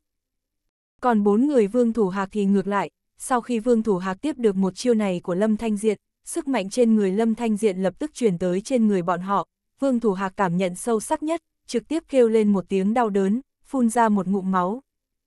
Ba người Trần Tùy Lễ cũng không đỡ hơn Vương Thủ Hạc là bao, vì thật sự không thể chịu đựng được sức mạnh trên người Lâm Thanh Diện, đều trực tiếp ngã xuống đất. Lâm Thanh Diện cũng không ngờ sức mạnh mình vừa phóng thích khi nãy lại mạnh đến mức này, trên mặt mang theo chút vui vẻ. E rằng bây giờ anh mới thật sự là vô địch của cảnh giới tông sư, dù kẻ thù uống đan dược vào có thể tăng cường sức mạnh cũng vẫn không phải đối thủ của anh. Các người chỉ có chút bản lĩnh đó thôi à, nếu thật sự là thế, e rằng hôm nay bốn người các cậu sẽ thua thê thảm lắm đấy, Lâm Thanh Diện cười nói một câu. Vương Thủ Hạc lau máu trên khóe môi mình, cắn răng nói, mau đứng dậy, cậu ta chỉ bùng nổ sức mạnh ở một chiêu khi nãy thôi, bây giờ khí thế trên người cậu ta đã yếu đi nhiều vì một chiêu khi nãy rồi, bây giờ thời gian quý báu, không thể kéo dài, nếu không đợi đan dược hết hiệu quả, chúng ta sẽ thật sự không còn cách nào với cậu ta đấy. Ba người Trần Tùy Lễ đều chịu đựng cơn đau trên người, lại một lần nữa đứng dậy từ dưới đất, không biết vì sao, nhìn thấy Lâm Thanh Diện trước mặt, trong lòng bọn họ đều sinh ra cảm giác tuyệt vọng. Bốn người cũng không chần chừ nữa, lại bao vây lấy Lâm Thanh Diện. Sức mạnh trên người Lâm Thanh Diện thật sự yếu đi một ít sau một chiêu khi nãy, nhưng đó chỉ là một cách nói tương đối mà thôi. Lâm Thanh Diện bây giờ, bốn người vương thủ hạc hợp tác cũng không thể đối phó được. Trận chiến trên lôi đài lại cao hơn một cấp độ so với khi nãy, chỉ là từ Lâm Thanh Diện vẫn luôn bị đánh thành Lâm Thanh Diện đuổi theo đánh bốn người vương thủ hạc. Khán giả xung quanh xem trận chiến trên lôi đài cũng trở nên nhiệt tình một cách bất ngờ, tiếng hoan hô kêu gào liên tục vang lên chưa từng dừng lại. Mục sư huynh, em cảm thấy hình như sư huynh Lâm Thanh Diện còn lợi hại hơn cả sư phụ rồi. Lý Tam Thốn nhìn Lâm Thanh Diện trên lôi đài, lẩm bẩm tự nói một câu. Mục tu nặng nề nói, cái này cũng khó nói lắm, em từng thấy sư phụ toàn lực ra tay chưa? Lý Tam Thốn lắc đầu đáp, thật sự là không có, nhưng bây giờ sư huynh Lâm Thanh Diện đang đối mặt với bốn cao thủ tông sư, còn là bốn cao thủ tông sư uống đan dược nữa, đội hình thế này đã xem như mạnh nhất của cảnh giới tông sư rồi, cho dù sư phụ có đến đây, e rằng chưa chắc có thể đối phó được đúng không? Chưa chắc, em nhập môn muộn, không biết một vài sự tích của sư phụ trước đây, năm đó anh từng thấy sư phụ một mình đấu lại sáu cao thủ cảnh giới tông sư, hơn nữa sau khi chiến thắng trận chiến đó, trên người sư phụ còn không có chút thương tích gì, chú thấy sư phụ lợi hại hay lâm thanh diện lợi hại. Sau khi nghe thấy, Lý Tam Thốn lập tức trợn to hai mắt, không ngờ trước kia sư phụ là một người kinh khủng như thế. Nếu thật là vậy, đúng là chưa chắc lâm thanh diện mạnh hơn sư phụ. Anh từng nghe sư phụ nói cảnh giới tông sư cũng không phải điểm cuối cùng của võ đạo, phía trên tông sư còn có cảnh giới cao hơn nữa, về phần sư phụ có đạt tới cảnh giới kia không thì không biết được. Mục tu nói nhỏ. Lý Tam Thốn cũng không kịp hỏi mục tu cảnh giới trên tông sư là gì, vì lúc này trận chiến trên lôi đài đã đến hồi kết, xung quanh trở nên vô cùng yên tĩnh, không phải mọi người không muốn nói, mà là khí thế trên người lâm thanh diện quá kinh khủng, chèn ép đến mức bọn họ không dám phát ra chút âm thanh gì. Quanh người lâm thanh diện trên lôi đài xuất hiện luồng khí xoáy như có như không, khí thế trên người anh lại dâng lên tới đỉnh cao. Bây giờ, tôi sẽ dùng một đòn mạnh nhất của tôi để kết thúc trận chiến này, có thể sống sót dưới một chiêu này của tôi không thì phải xem tạo hóa của các người rồi. Lâm Thanh Diện lớn tiếng nói một câu, sau đó chiêu thức biến ảo, đánh mạnh một trường về phía trước. Trường kinh lôi, bầu trời của sân vận động mờ hồ có tiếng sấm sét vang lên, tựa như ảo giác vậy, nhưng tất cả mọi người ở đây đều nghe thấy. Mà sau khi Lâm Thanh Diện đánh về phía trước một trường đó, hư ảnh một bàn tay không quá rõ ràng, nhưng đã đạt tới cảnh giới mắt thường có thể nhìn thấy xuất hiện trước mặt bốn người vương thủ hạc, thậm chí bàn tay của Lâm Thanh Diện vẫn chưa đụng tới bốn người họ, thì bọn họ đã bay ra khỏi lôi đài theo một đường parabol rồi. chương 793, vây giết. Cả sân vận động lập tức trở nên yên tĩnh. Mọi người bị cảnh khi nãy làm vô cùng chấn động, cho nên phản ứng đầu tiên của bọn họ không phải giật mình la lên, mà là ngơ ngác. Khi nãy tôi nhìn thấy hiệu quả đặc biệt sao? Anh cũng thấy à, tôi còn tưởng có mình tôi bị ảo giác thôi chứ, trời ạ, đừng nói lâm thanh diện bố trí hình chiếu ở xung quanh lôi đài nhé. Tuy hư ảnh khi nãy hơi mơ hồ, nhưng tôi có thể chắc chắn nó đã xuất hiện. Làm gì có hình chiếu giống thật thế, cho dù có e rằng cũng đã bị dư âm trận chiến làm hỏng rồi. Thực lực của Lâm Thanh Diện đã kinh khủng đến mức này rồi sao? Thậm chí cậu ta còn chưa đụng vào mấy người đối diện đã khiến bọn họ bay xuống khỏi lôi đài, thật đáng sợ. Không phải tôi nói quá, xem trận chiến này của Lâm Thanh Diện, anh nói với tôi thế giới này có thần tiên tôi cũng tin. Sư huynh, sư phụ có nói trên cảnh giới tông sư có thể mang theo đặc hiệu đúng không? Lý Tam Thốn cứng đờ người hỏi Mục Tu một câu. Lúc này Mục Tu cũng sững sờ, hoàn toàn không biết vì sao một đòn của Lâm Thanh Diện khi nãy lại xuất hiện hiệu quả như thế. Có lẽ phải đợi Lâm Thanh Diện đạt tới cảnh giới kia, chúng ta mới có thể biết được. Mục Tu nói, sư huynh Lâm Thanh Diện có thể đạt tới cảnh giới kia ư? Lý Tam Thốn hỏi, chắc chắn có thể, ánh mắt Mục Tu đột nhiên trở nên kiên định. Trên lôi đài, Lâm Thanh Diện cũng hơi ngạc nhiên nhìn chằm chằm bàn tay của mình, không ngờ dưới trạng thái sử dụng bí pháp của mình sẽ phát huy ra uy lực kinh khủng đến thế. Càng khiến anh ngạc nhiên hơn nữa là một trường khi nãy của mình còn xuất hiện một hư ảnh như ẩn như hiện, ngay cả bản thân anh cũng không ngờ một đòn của mình sẽ có hiệu quả như vậy. Chẳng lẽ khi đến một cảnh giới nhất định có thể làm ra hiệu quả đó sao? Đây thật sự là một khái niệm hơi ngược đời, cho nên trong chốc lát còn hơi khó chấp nhận. Lâm Thanh Diện còn chưa kịp tiếp tục suy nghĩ về hiệu quả tạo ra được của một đòn khi nãy, trong nháy mắt, anh chợt cảm thấy sức mạnh bùng nổ trong người mình bắt đầu nhanh chóng rút đi như thủy triều, sau đó là cảm giác mệt mỏi khiến người ta khó mà chấp nhận được. Từ nhỏ đến lớn, Lâm Thanh Diện chưa từng cảm thấy mình mệt mỏi đến thế bao giờ, cảm giác đánh thẳng vào lòng thế này khiến anh ngồi phịch xuống đất. Trạng thái của Lâm Thanh Diện lúc này là cả người không có chút sức lực, có thể miễn cưỡng ngồi dưới đất đã là giới hạn của anh rồi, lúc này dù một đứa trẻ đi tới, e rằng cũng có thể giết chết anh. Trong bốn người vương thủ hạc rơi ra khỏi lôi đài có hai người ngã dưới đất không nhúc nhích, Trần Tùy Lễ còn miễn cưỡng giữ được chút ý thức, hai cánh tay không ngừng run rẩy, xem ra dù có sống sót cũng trở thành một kẻ tàn phế. Chỉ có mỗi vương thủ hạc còn miễn cưỡng ngồi được dưới đất, khóe miệng có máu tươi chảy ra, sắc mặt tái nhợt chẳng khác nào người chết. Ông ta cố nhịn xuống cảm giác đau đớn trên người, quay đầu nhìn thoáng qua ba người Trần Tùy Lễ bên cạnh, nhìn thấy Trần Tùy Lễ còn mở mắt, nhưng đã không di chuyển được nữa, trong lòng có hơi bất đắc dĩ. Ông ta lại nhìn về phía hai người Vân Tuyệt Điên và Mộc Trường Thiên, khi nhìn thấy bọn họ đã không còn nhúc nhích, sắc mặt trắng bệch như tờ giấy, không cảm nhận được chút hơi thở nào của người sống, ông ta biến sắc, vô cùng giận dữ, lại phun ra một ngụm máu. Vân gia chủ, Mộc gia chủ, Vương Thủ Hạc gọi hai người. Nhưng không hề được đáp lại, không cần nghĩ cũng biết e rằng hai người này đã không còn cơ hội đáp lại nữa rồi. Trong lòng Vương Thủ Hạc vô cùng đau khổ, ông ta không ngờ bốn người bọn họ hợp tác đấu với Lâm Thanh Diệt, thậm chí ai cũng đã uống đan dược nhưng vẫn không thể đánh bại anh, còn có hai người chết trong tay anh. Đến lúc này, năm gia tộc lớn đã hoàn toàn thất bại rồi. Phương thần ở xa xa nhìn thấy tình huống bên này cũng nôn nóng, vội vàng kéo thân thể bị thương nặng đi tới, sau khi nhìn thấy Vân Tuyệt Điên và Mộc Trường Thiên đã tắt thở, Trần Tùy Lễ bị thương không thể di chuyển, cả người vương thủ hạc đầy máu tươi, lập tức đau khổ kêu lên một tiếng. Lão ta quay đầu nhìn về phía Lâm Thanh Diện trên lôi đài, nghiến răng nghiến lợi quát, Lâm Thanh Diện, cậu đúng là đáng chết, sáu gia tộc lớn chúng tôi có ba gia chủ chết trong tay cậu, cậu là một tên đáng tội nghìn đời, cậu không có tư cách sống trên cuộc đời này. Người ở đây nghe thấy tiếng la của phương thần lập tức hiểu ra hai người Vân Tuyệt Điên và Mộc Trường Thiên té dưới đất đã chết, trong lòng lập tức thấy kinh hãi, không ngờ một chiêu khi nãy của Lâm Thanh Diện đã trực tiếp giết chết hai cao thủ là gia chủ. Lúc này Lâm Thanh Diện đã không còn lòng giả quan tâm đến bọn họ nữa, anh chỉ muốn ngủ một giấc thật ngon thôi. Lý Tam Thốn nghe thấy tiếng la của phương thần thì khó chịu, cao giọng quát lên, các người đúng là một đám không biết xấu hổ, rõ ràng là các người không bằng người ta, bây giờ còn có mặt mũi chỉ trích sư huynh của tôi, bốn người hợp tác muốn giết sư huynh tôi, kết quả bị giết ngược lại còn nói anh ấy có tội, chẳng trách sư phụ của tôi không thích đám thế gia các người, một đám người dối trá. Tất cả mọi người ở đây đều không phải người cực đoan, qua mấy ngày xem chiến đã sớm phát hiện lòng thù địch của năm gia tộc lớn với Lâm Thanh Diệt, ngay từ đầu lúc đại hội võ đạo tuyên truyền, bọn họ đã biết năm gia tộc lớn là nhằm vào Lâm Thanh Diện rồi.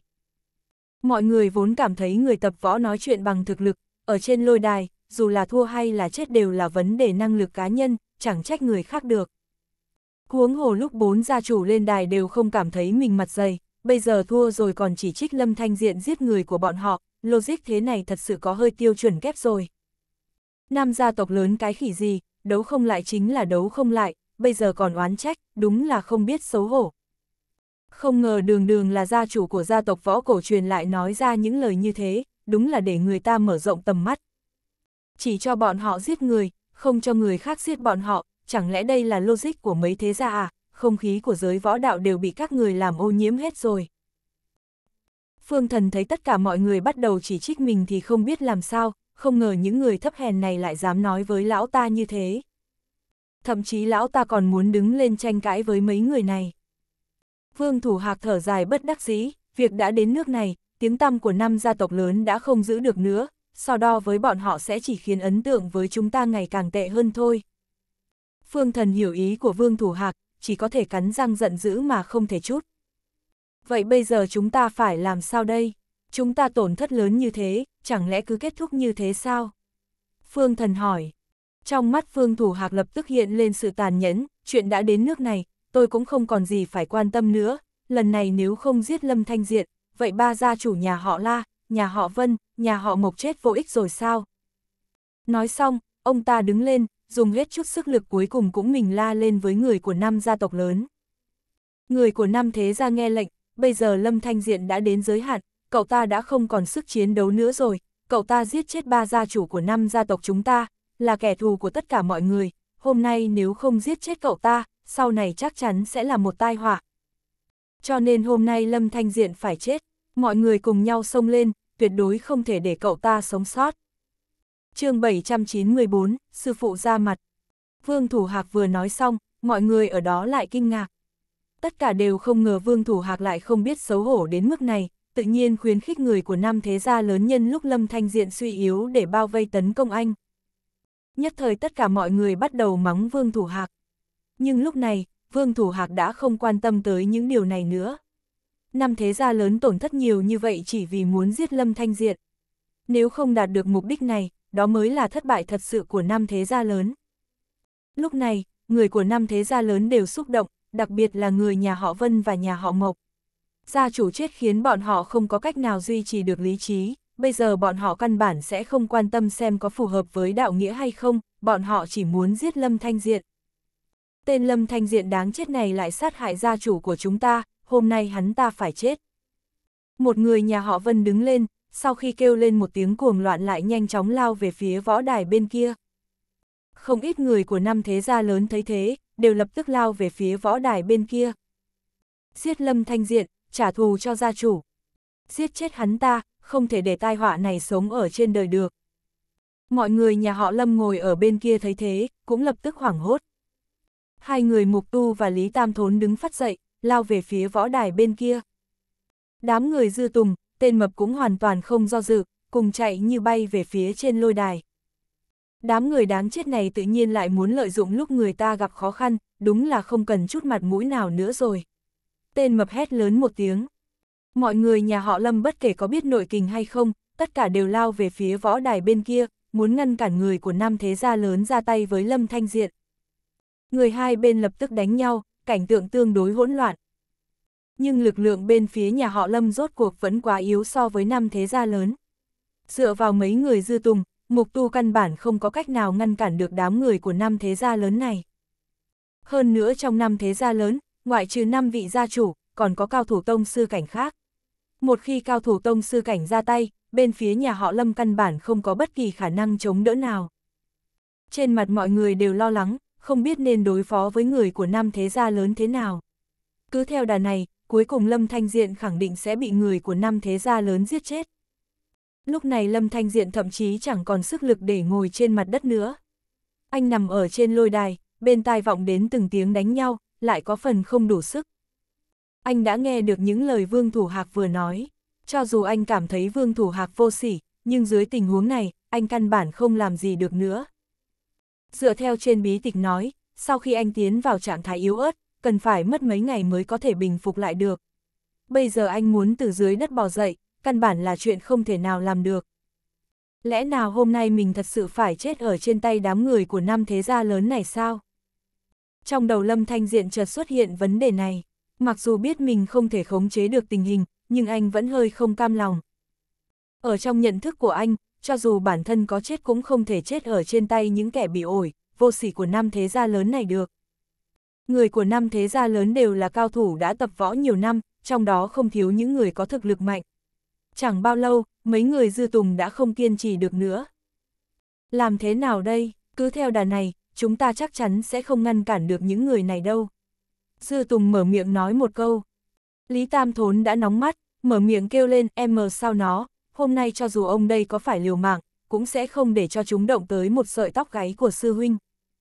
Ha ha, không ngờ lại biết liều mạng vì sư huynh, không tệ, có tiến bộ. Trong lúc mọi người ở đây đều đang vô cùng tuyệt vọng, một giọng nói chợt vang lên phía sau bọn họ.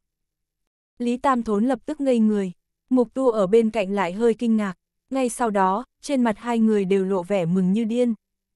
Bọn họ đồng thời xoay người, nhìn về phía sau mình, chỉ thấy có một ông già chẳng biết đã xuất hiện ở đó từ lúc nào. Cả hai đều kinh ngạc kêu lên một tiếng, sư phụ.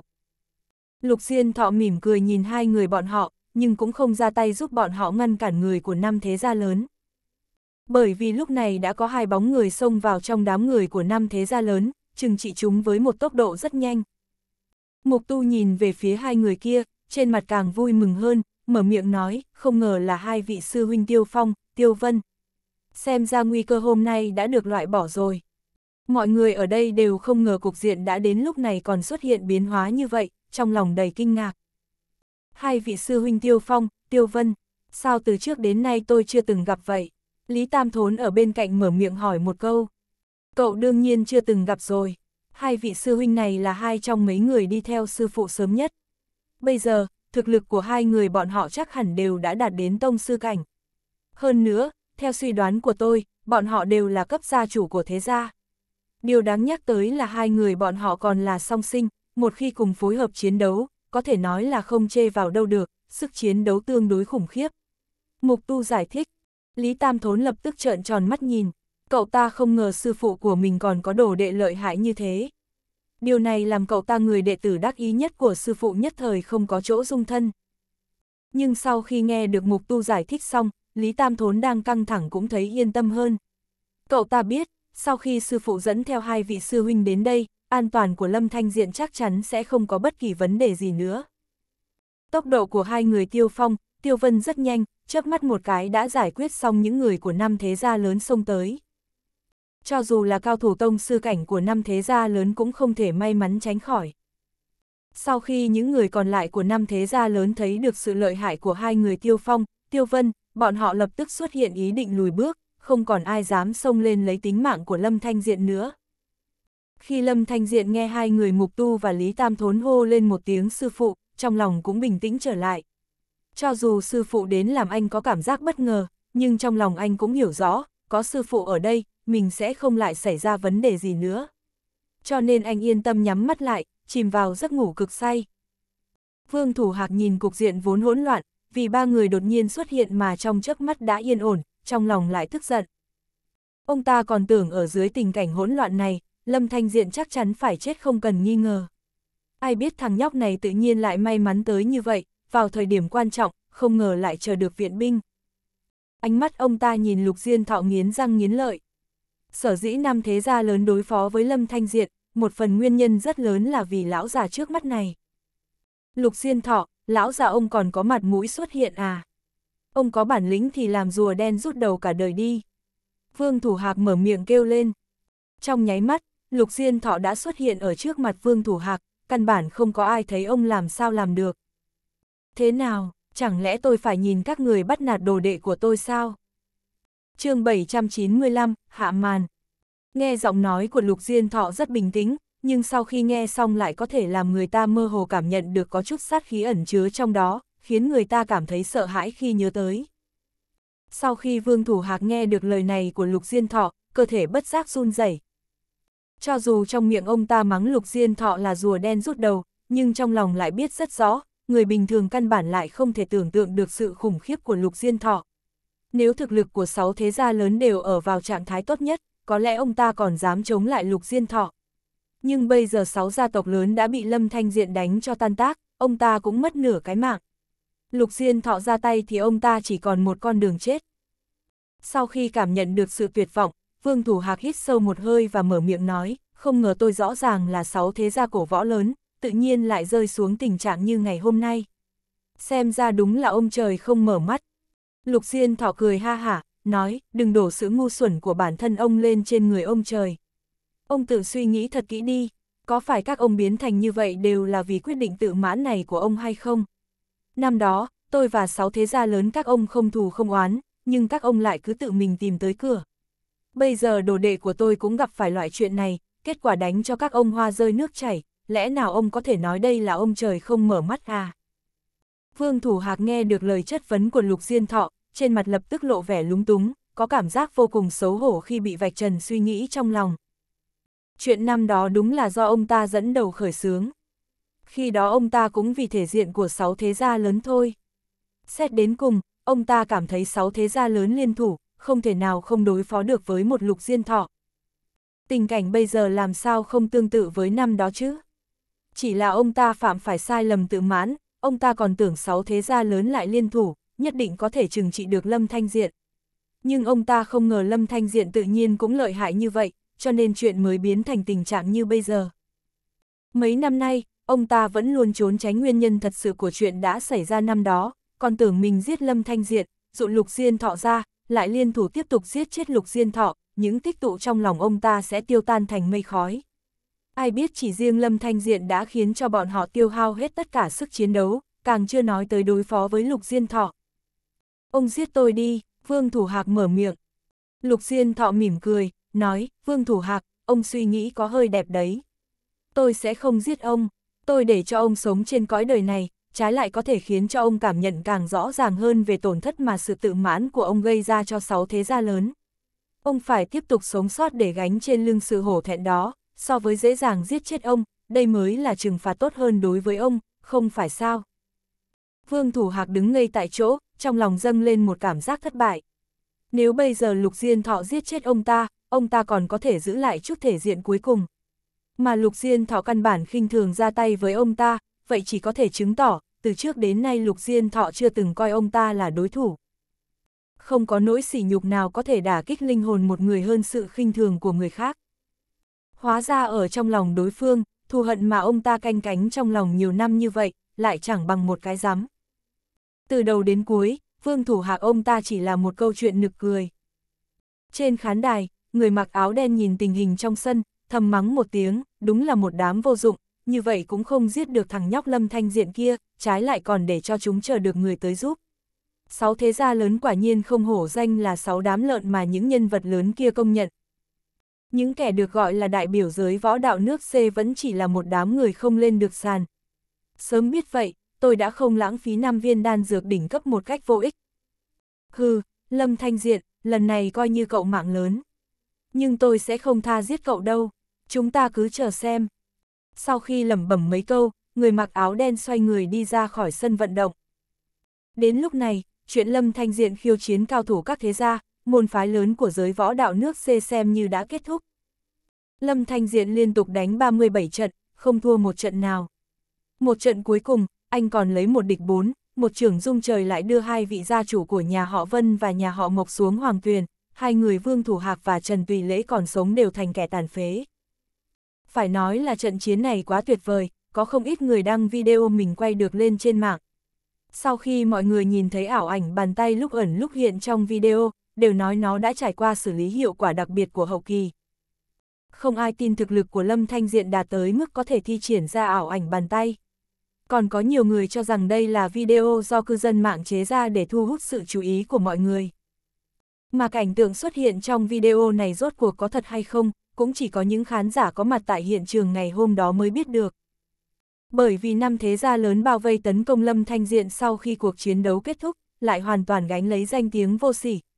Từ nay về sau, giới võ đạo nước C không còn xem thế gia là kiểu mẫu của giới võ đạo nữa.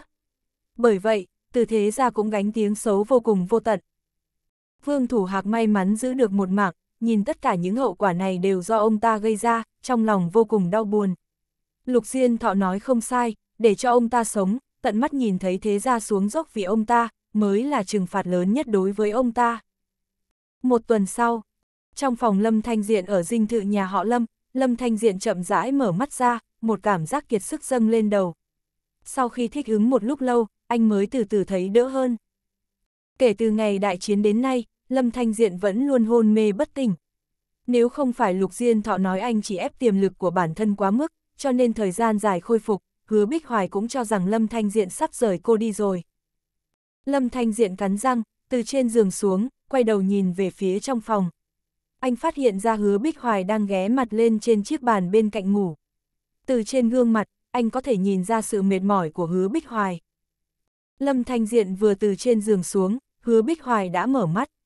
Sau khi thấy Lâm Thanh Diện tỉnh rồi, mệt mỏi trong mắt cô lập tức biến mất, thay vào đó là vẻ cao hứng. Tên khốn kiếp nhà anh cuối cùng đã tỉnh rồi, anh không thể để cho em bớt lo một chút sao, từ hứa Bích Hoài phàn nàn một câu. Lâm Thanh Diện vừa cười vừa nói, thể chất của anh trời sinh dễ gặp rắc rối, anh cũng đâu muốn vậy đâu. Hứa Bích Hoài trừng mắt, nói anh nhanh nằm xuống đi. Em đi bảo chị Tôn làm chút đồ ăn cho anh, anh đã hôn mê một tuần, vẫn chỉ truyền dinh dưỡng. Bây giờ chắc anh rất đói bụng đi. Lâm Thanh Diện thấy ấm lòng, cảm giác sau khi hôn mê tỉnh lại mà có người quan tâm, mới là điều mà anh vẫn muốn bảo vệ. Lâm Thanh Diện ngoan ngoãn nghe lời vợ, trở về trên giường nằm, yên tâm chờ đồ ăn đưa qua. Sau khi ăn một chút, Lâm Thanh Diện cảm giác sức lực trong cơ thể mình đã khôi phục lại không ít, cảm giác kiệt sức đã hoàn toàn biến mất. Xem ra bí pháp này quả nhiên không gây tổn hại gì cho cơ thể con người, chỉ cần có thời gian khôi phục sẽ có thể lại trở lại tình trạng tốt nhất. Sau khi khôi phục lại chút sức lực, Lâm Thanh Diện hoạt động ở trong phòng, sau đó ra khỏi phòng, đi tới phòng khách của nhà họ Lâm. Anh được hứa Bích Hoài nói cho biết, sư phụ vẫn ở lại dinh thự nhà họ Lâm trong suốt một tuần anh hôn mê. Trong lòng Lâm Thanh Diện có rất nhiều nghi ngờ muốn xin chỉ giáo của sư phụ, cho nên lập tức đi tới phòng sư phụ đang ở. Đến cửa phòng khách, Lâm Thanh Diện còn chưa gõ cửa, lại nghe bên trong truyền đến một giọng nói bình tĩnh, vào đi. Audio điện tử võ tấn bền. chương 796, ân oán. Lâm Thanh Diện đẩy cửa phòng và bước vào trong, thấy sư phụ đang ngồi xếp bằng trên giường, hai mắt nhắm nghiền, ngực phập phồng lên xuống như đang vận chuyển phương pháp thổ nạp. Anh cũng không cắt ngang quá trình của sư phụ. Sau khi đi vào, anh ngồi xuống chiếc ghế ở trong phòng, vẫn đợi đến khi sư phụ tiến hành một vòng thổ nạp hoàn chỉnh. Sư phụ mở mắt ra, ánh mắt nhìn lên trên người Lâm Thanh Diện, trên mặt tươi cười. Con khôi phục rồi sao? Lâm Thanh Diện khẽ gật đầu. Con có thể lấy sức một người, một mình chống đỡ năm thế gia lớn, đồng thời còn giết chết được hai gia chủ của bọn chúng, đã làm ta hơi kinh ngạc rồi. Trong rất nhiều đệ tử của ta, nói con đứng đầu thì không ai dám nói đứng thứ hai đâu. Sư phụ mở miệng.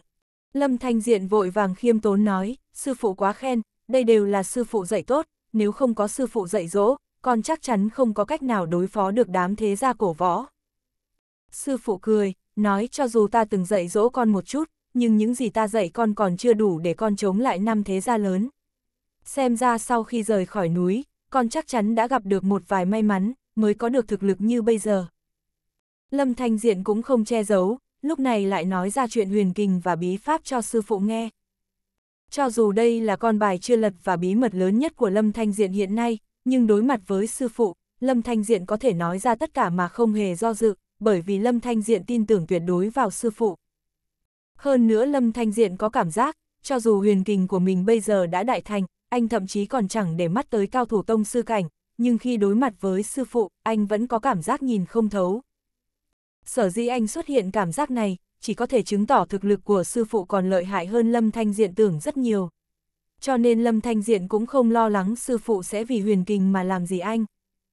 Sau khi sư phụ nghe Lâm Thanh Diện kể xong chuyện liên quan tới huyền kình và bí pháp, ông chỉ khẽ gật đầu, trên mặt không lộ ra chút kinh ngạc nào. Điều này làm Lâm Thanh Diện thấy hơi kỳ lạ. Lẽ nào sư phụ đã sớm biết về sự tồn tại của huyền kình và bí pháp? Cũng không phải không có khả năng này. Sư phụ đi khắp sông núi Đại Hà, biết rất nhiều. Sư phụ có biết về sự tồn tại của huyền kình, cũng không phải là chuyện kỳ lạ gì. Chỉ là trước khi Lâm Thanh Diện nói ra chuyện huyền kình, anh đã nghĩ trên mặt sư phụ sẽ xuất hiện vẻ mặt thế nào. Bây giờ thấy vẻ mặt sư phụ bình tĩnh, làm Lâm Thanh Diện có cảm giác không đạt được mong muốn trong lòng. Cũng khó trách con có thể một mình khiêu chiến bốn gia chủ của thế gia cổ võ, hóa ra con đã luyện huyền kinh, còn ngẫu nhiên nhận được bí pháp. Xem ra con quả nhiên rất may mắn đấy. Sư phụ cười nói. Sư phụ biết về sự tồn tại của huyền kinh ạ. Lâm Thanh Diện hỏi. Sư phụ khẽ gật đầu, nói ta tất nhiên là biết rồi.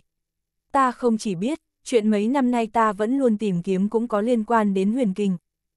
Lâm Thanh Diện lập tức sửng sốt, không ngờ chuyện sư phụ vẫn luôn tìm kiếm lại có liên quan tới huyền kinh. Xem ra mình nói cho sư phụ biết về chuyện huyền kinh thật sự vẫn là một lựa chọn chính xác. Trong lòng anh có rất nhiều nghi ngờ về huyền kinh, có lẽ sư phụ sẽ biết.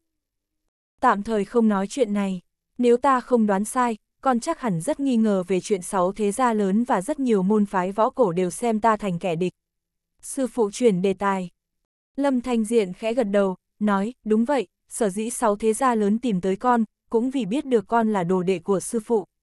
Theo như lời bọn chúng nói, năm đó sư phụ đã làm rất nhiều chuyện tội ác tài trời đối với bọn chúng, giết chết rất nhiều người của bọn chúng, nói sư phụ là kẻ địch chung của bọn chúng.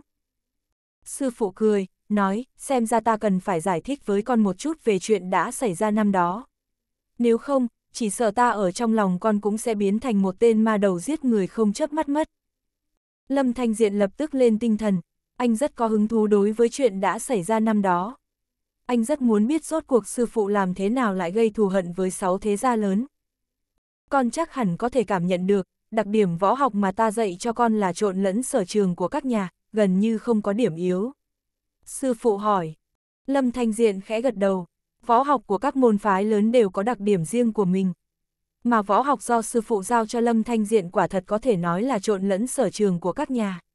Cho đến tận lúc này, Lâm Thanh Diện vẫn chưa phát hiện ra võ học mà sư phụ giao anh có điểm yếu gì. Một bộ võ học này chính là do ta rút ra đặc điểm võ học của các phái trong thiên hạ, loại bỏ khuyết điểm, cuối cùng sáng tạo ra. Mà năm đó, ta cũng không có khả năng học được bí tịch võ học của các phái trong thiên hạ. Nhưng để có thể cảm nhận được đặc điểm võ học của các phái, ta chỉ có một cách là không ngừng giao đấu với cao thủ của các môn phái, từ trong cuộc chiến đấu cảm nhận ra đặc điểm tồn tại trong võ học của bọn họ. Từ trước đến nay, những thế gia truyền thống trong giới võ đạo đều giấu kín võ học của mình như bảo bối, chưa bao giờ truyền thụ ra ngoài. Theo bọn họ thấy, võ học của bọn họ là võ học hoàn mỹ nhất của thời đại, người ngoài căn bản không xứng để học. Nhưng bọn họ không thể cả đời không giao đấu với người khác. Cho nên khi đó ta lại bắt đầu khiêu chiến với cao thủ của những thế gia này giống như con vậy. Đương nhiên, ta không khủng bố như con lần này.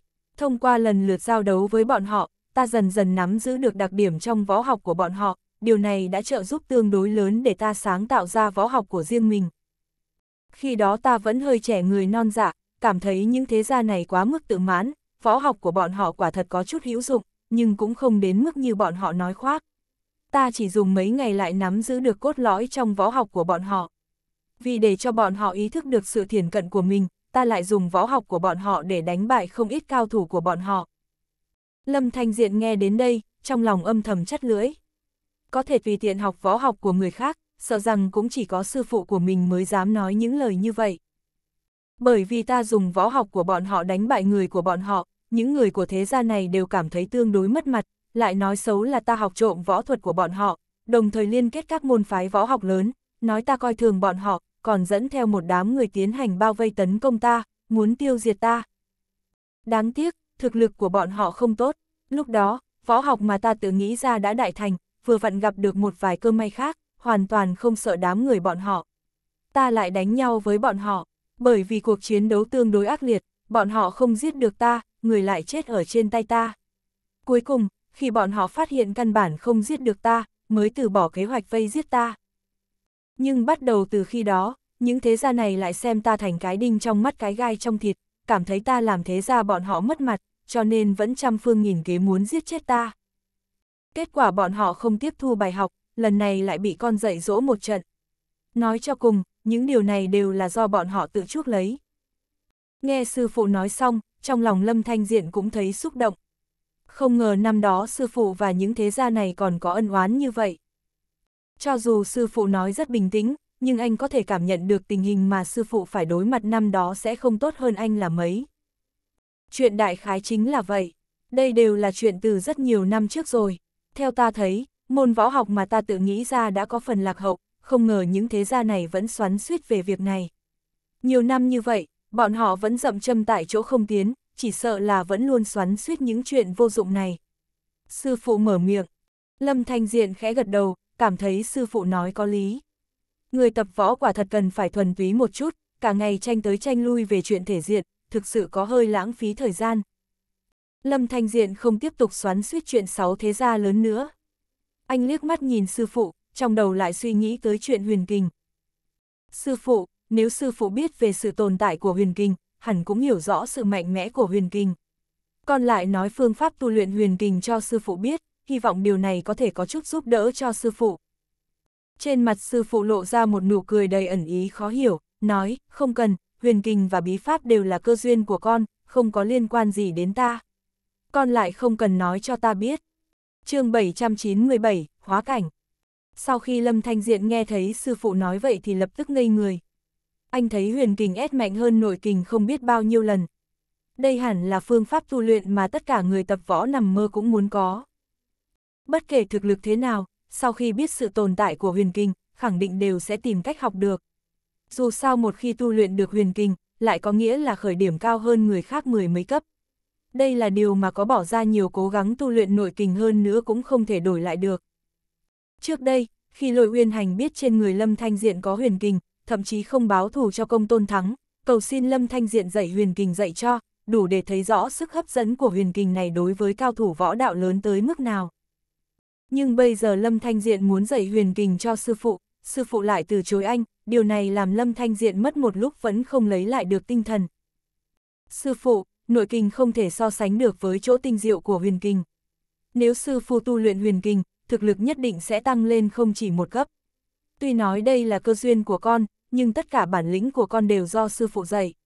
Con giao phương pháp tu luyện huyền Kình cho sư phụ cũng là lẽ thường của con người. Lâm Thanh Diện nói. Sư phụ mỉm cười, nói con có tâm như vậy là đủ rồi. Nhưng huyền kình này không có hiệu quả lớn đối tới ta nữa. Sư phụ nói. Lâm Thanh Diện nghe được lời này của ông, trên mặt lập tức lộ vẻ khiếp sợ. Sư phụ nói hiệu quả của huyền kình đối với ông đã không lớn, vậy chỉ có thể có một khả năng, đó là thực lực của sư phụ đã vượt xa tông sư cảnh. Thực lực của ông đã đạt đến trình độ mà người bình thường không có cách nào tưởng tượng được, cho nên huyền kình mới không có hiệu quả quá lớn đối với ông. Trong lúc nhất thời, Lâm Thanh Diện cảm giác hình tượng sư phụ ở trong lòng anh lại trở nên thần bí. Trước đây, khi Lâm Thanh Diện hỏi sư phụ có phải là cao thủ tông sư không, sư phụ nói đây đã là chuyện hơn 30 năm trước, ông không thừa nhận mình là cao thủ tông sư cảnh. Lâm Thanh Diện theo bản năng lại cho rằng thực lực của sư phụ chính là tông sư cảnh. Dù sao khi đó anh vừa tiếp xúc đến cảnh giới tông sư, đâu nghĩ tới trên cảnh giới tông sư còn có cảnh giới cao hơn hay không. Bây giờ sư phụ nói ra những lời này, Lâm Thanh Diện đã lập tức xác định, thực lực của sư phụ chắc chắn đã trên tông sư cảnh. Cũng không biết thực lực của sư phụ rốt cuộc khủng khiếp tới mức nào. Trong lòng Lâm Thanh Diện thậm chí có chút hy vọng có thể gặp được cơ hội dùng hết sức ra tay với sư phụ. Anh cũng không biết đời này mình còn có thể gặp được không.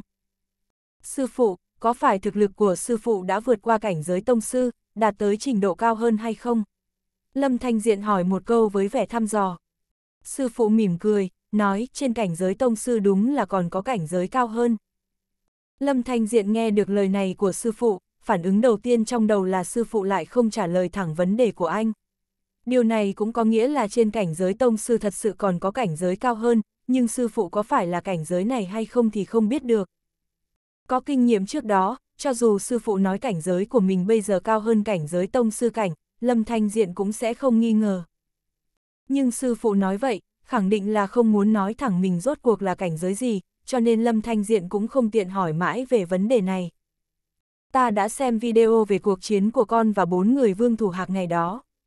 Vào thời điểm cuối cùng, một trường kia của con lại xuất hiện ảo ảnh của một bàn tay khổng lồ, có đúng không? Sư phụ hỏi một câu. Lâm Thanh Diện lập tức khẽ gật đầu, cho dù không biết tại sao sư phụ lại đột nhiên muốn nói về chuyện này, nhưng đây đúng là một nghi ngờ trong lòng Lâm Thanh Diện. Nếu không phải là trong những video trên mạng cũng có thể nhìn thấy ảo ảnh này, Lâm Thanh Diện nhất định sẽ cho rằng đây chỉ là ảo giác của mình. Nói thật, con thật sự có hơi nghi ngờ ảo ảnh xuất hiện ngày đó là một ảo giác. Dù sao trong chiến đấu bình thường làm sao có thể xuất hiện tình huống này được. Lâm Thanh Diện nói. Sư phụ cười thần bí, nói con thấy không phải là ảo giác, nhìn tay ta đi. Lâm Thanh Diện đầy vẻ kinh ngạc nhìn sư phụ, không nghĩ tới sư phụ lại xác định điều anh thấy không phải là ảo giác. Anh cúi đầu nhìn về phía tay sư phụ, muốn biết sư phụ muốn cho anh xem cái gì. Hai ngón tay sư phụ kẹp lại thành dạng kiếm, chỉ vào cái bàn cách đó không xa, hỏi con có thể cảm nhận được gì không? Lâm Thanh Diện cẩn thận nhìn tay của sư phụ, anh có thể cảm nhận được rõ ràng có lực lượng lớn đang tập trung ở trên hai ngón tay này của sư phụ sợ rằng lực lượng đã mạnh mẽ tới mức vượt quá một đòn mạnh nhất mà Lâm Thanh Diện thi triển vào ngày đó. Trong lòng anh thầm khiếp sợ, không ngờ sư phụ lại có thể khống chế hoàn mỹ lực lượng mạnh như thế ở trên ngón tay của mình. Chỉ riêng phần khống chế lực này, bây giờ Lâm Thanh Diện lại không bằng. Khi Lâm Thanh Diện cẩn thận nhìn ngón tay của sư phụ, sư phụ cong môi lộ vẻ hài hước. Ngay sau đó, Lâm Thanh Diện lại thấy trên hai ngón tay này của sư phụ tự nhiên xuất hiện ảo ảnh của một thanh kiếm, hơn nữa còn tương đối rõ ràng, rõ ràng hơn cả ảo ảnh mà anh tạo ra ngày đó gấp trăm lần. Sao, sao có thể như vậy được? Lâm Thanh Diện kinh ngạc kêu lên một tiếng. Sư phụ vung hai ngón tay này của mình, ảo ảnh hình kiếm trên đó bay lên và chém xuống mặt đất. Một tiếng động lớn vang lên, ngay sau đó, Lâm Thanh Diện lại thấy trên nền gạch xuất hiện một lỗ thủng thật dài, trông mà giật mình. Lâm Thanh Diện đứng phát lên, nhìn sư phụ đầy vẻ khó tin.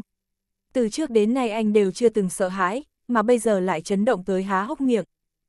Sư phụ nhìn dáng vẻ khiếp sợ của Lâm Thanh Diện lại nói đùa, ta chỉ vừa biểu diễn cho con thấy một chút uy lực thôi, con sẽ không bắt ta phải sửa lại nền gạch cho con chứ. Không, sẽ không đâu, Lâm Thanh Diện ngơ ngác nhìn sư phụ, anh không nghĩ tới sư phụ không chỉ có thể làm xuất hiện ảo ảnh trên ngón tay của mình, uy lực của ảo ảnh này lại còn dọa người như vậy. Thảo nào sư phụ không để mắt tới sáu thế gia cổ võ lớn. Với một đòn vừa rồi, cho dù là cao thủ tông sư cảnh mạnh hơn nữa, sợ rằng cũng không chịu được. Anh vốn cho rằng huyền kình của mình đã đặc biệt lợi hại, bây giờ anh mới biết mình còn cách lợi hại thật sự rất xa. Sư phụ, rốt cuộc là chuyện gì xảy ra vậy? Sao đòn công kích vừa rồi của sư phụ lại khủng khiếp như vậy? Lâm Thanh Diện vội vàng mở miệng nói hỏi. Sư phụ thu lại ảo ảnh trên ngón tay của mình, vừa cười vừa nói, đây chính là uy lực mà cảnh giới trên tông sư cảnh có khả năng phát huy ra. Trong cuộc chiến đấu của con vừa rồi, một đòn cuối cùng kia miễn cưỡng sờ được một chút ngưỡng cửa tiến cấp, cho nên mới xuất hiện ảo ảnh lòng bàn tay kia. Lâm Thanh Diện chợt hiểu ra, anh không ngờ lực lượng một đòn kia của mình tự nhiên lại đạt tới loại cảnh giới khủng khiếp này, loại cảnh tượng phi khoa học khó có thể xuất hiện này. Nhưng cho dù một đòn kia của anh có mạnh hơn nữa, cũng không thể mạnh hơn một đòn mà sư phụ vừa tùy tiện thi triển ra. Sư phụ, đó rốt cuộc là cảnh giới là gì vậy? Sao lại mạnh như vậy? Lâm Thanh Diện cố gắng ép xuống chấn động trong lòng mình, nhìn sư phụ hỏi.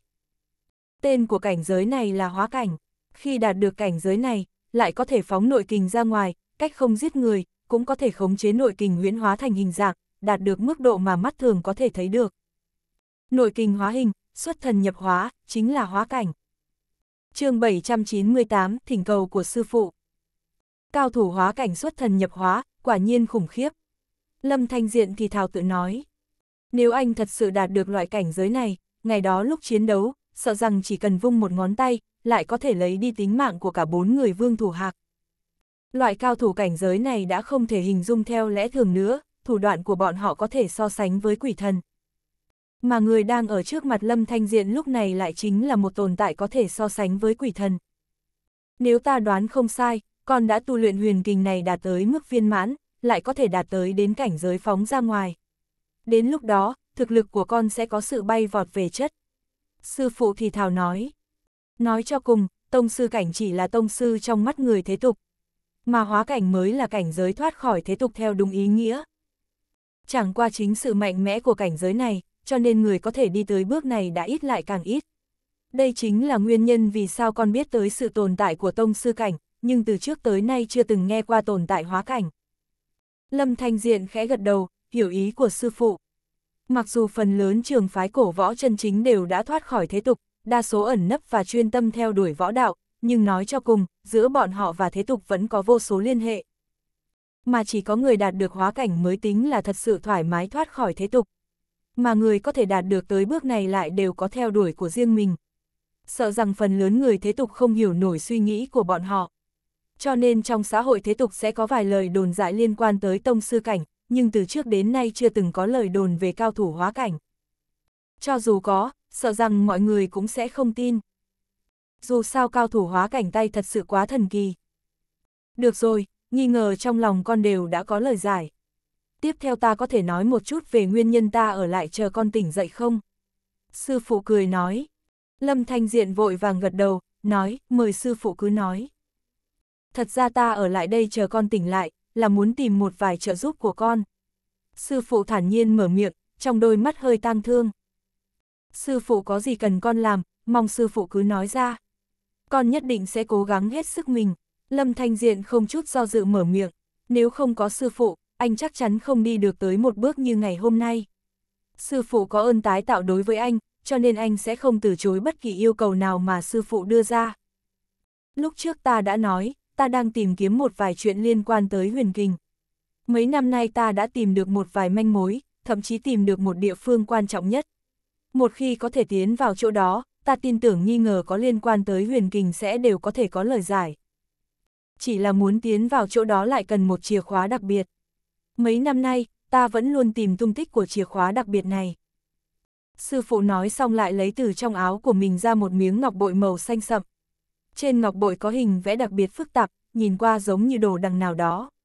Lâm Thanh Diện vừa nhìn qua lại cảm giác đồ đằng bên trên giống như đang sống, có hơi dọa người. Hơn nữa, không biết vì sao, sau khi nhìn ngọc bội kia một lúc, Lâm Thanh Diện cảm giác tinh thần hơi dã rời vì mới tỉnh dậy, không ngờ lại trở nên tập trung. Ngọc này tên là ngưng hồn ngọc, đây cũng là chìa khóa mà ta vừa nói tới. Nhưng đây chỉ là một trong số đó. Ngưng hồn ngọc tổng cộng có ba cái. Chỉ khi ba cái cùng được đặt vào mới có thể mở ra chỗ mà ta đã nói. Ta mất nhiều năm như vậy, cũng chỉ tìm được một cái này. Nhưng vẫn xem như may mắn, vì ta đã có được tung tích về hai miếng ngưng hồn ngọc còn lại. Bởi vì một vài nguyên nhân đặc biệt, trong tương lai không xa, ta sẽ phải trả qua một kiếp nạn. Chỉ khi ta tiến vào chỗ đó thì mới mong tránh thoát được kiếp nạn lần này. Nếu không tránh thoát được kiếp nạn lần này, ta lại chỉ có kết quả phải mất mạng. Thời gian của ta đã không còn nhiều nữa, ta còn phải chuẩn bị rất nhiều để ứng phó với kiếp nạn sắp đến. Điều này cũng có nghĩa là ta không có đủ thời gian đi tìm hai miếng ngưng hồn ngọc còn lại. Mà lần này thực lực của con thật ra đã làm ta rất kinh ngạc. Với trình độ của con bây giờ, muốn đi tìm hai miếng ngưng hồn ngọc còn lại giúp ta cũng không tính là quá khó. Cho nên ta muốn con giúp ta đi tìm hai miếng ngưng hồn ngọc còn lại cho ta. Nghe sư phụ nói xong, trên mặt lâm thanh diện lộ ra chút nghiêm trọng. Anh không ngờ thực lực của sư phụ đã đạt tới trình độ này, lại còn phải đối mặt với kiếp nạn. Xem ra cho dù là người có thực lực mạnh hơn nữa, cũng sẽ gặp phải rắc rối của riêng mình. Không biết sư phụ sẽ gặp phải kiếp nạn thế nào? Lâm Thanh Diện mở miệng hỏi. Sư phụ mỉm cười, nói có một số việc, bây giờ con còn chưa thích hợp để biết. Biết cũng không có lợi cho con, chờ thời cơ đến, con tất nhiên sẽ biết ta phải đối mặt với kiếp nạn thế nào. Lâm Thanh Diện khẽ gật đầu, hiểu ý của sư phụ, sau đó nói, sư phụ bận, con tất nhiên sẽ giúp.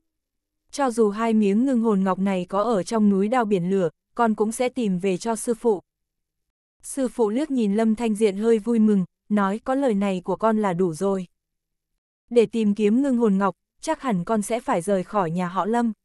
Ta biết con có thể sẽ không yên tâm về an toàn của nhà họ Lâm, đặc biệt là trường hợp của vợ và con gái con. Cho nên để con yên tâm, ta có thể bảo hai người Tiêu Phong, Tiêu Vân ở lại nhà họ Lâm, bảo vệ an toàn cho vợ và con gái con, ổn định tình hình của nhà họ Lâm. Nghe được lời này của sư phụ, trong lòng Lâm Thanh Diện biết ơn. Lời sư phụ nói chính là suy nghĩ trong lòng anh, nếu anh rời đi, tất nhiên anh không yên lòng nhất chính là hai người hứa Bích Hoài và Nặc Nặc. Bây giờ sư phụ hứa sẽ để cho hai vị sư huynh Tiêu Phong, Tiêu Vân ở lại, Lâm Thanh Diện lại không có gì phải lo lắng nữa. Lâm Thanh Diện vẫn hiểu rõ về thực lực của hai vị sư huynh Tiêu Phong, Tiêu Vân. Bất kỳ ai trong hai người đều không yếu hơn gia chủ của những thế gia kia. Nếu như bọn họ liên thủ với nhau, càng có thể phát ra sức chiến đấu không gì sánh nổi. Chỉ cần không phải là cao thủ hóa cảnh tới gây phiền toái, hai người bọn họ tuyệt đối có thể đối phó được với tất cả rắc rối mà nhà họ Lâm sẽ gặp phải. Cho dù những người của thế gia trở lại gây phiền toái, cũng có thể ứng phó được. Cảm ơn sư phụ đã hiểu cho. Sư phụ yên tâm, con nhất định sẽ tìm về hai miếng ngưng hồn ngọc còn lại cho sư phụ. Lâm Thanh Diện chắp tay nói với sư phụ, không biết tung tích của hai miếng ngọc còn lại ở đâu.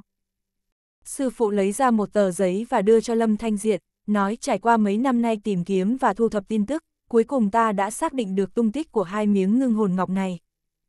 Một miếng trong đó đã được mua đi bán lại, tranh đoạt, bán đấu giá, cuối cùng đến trong tay một gia tộc của Nhật.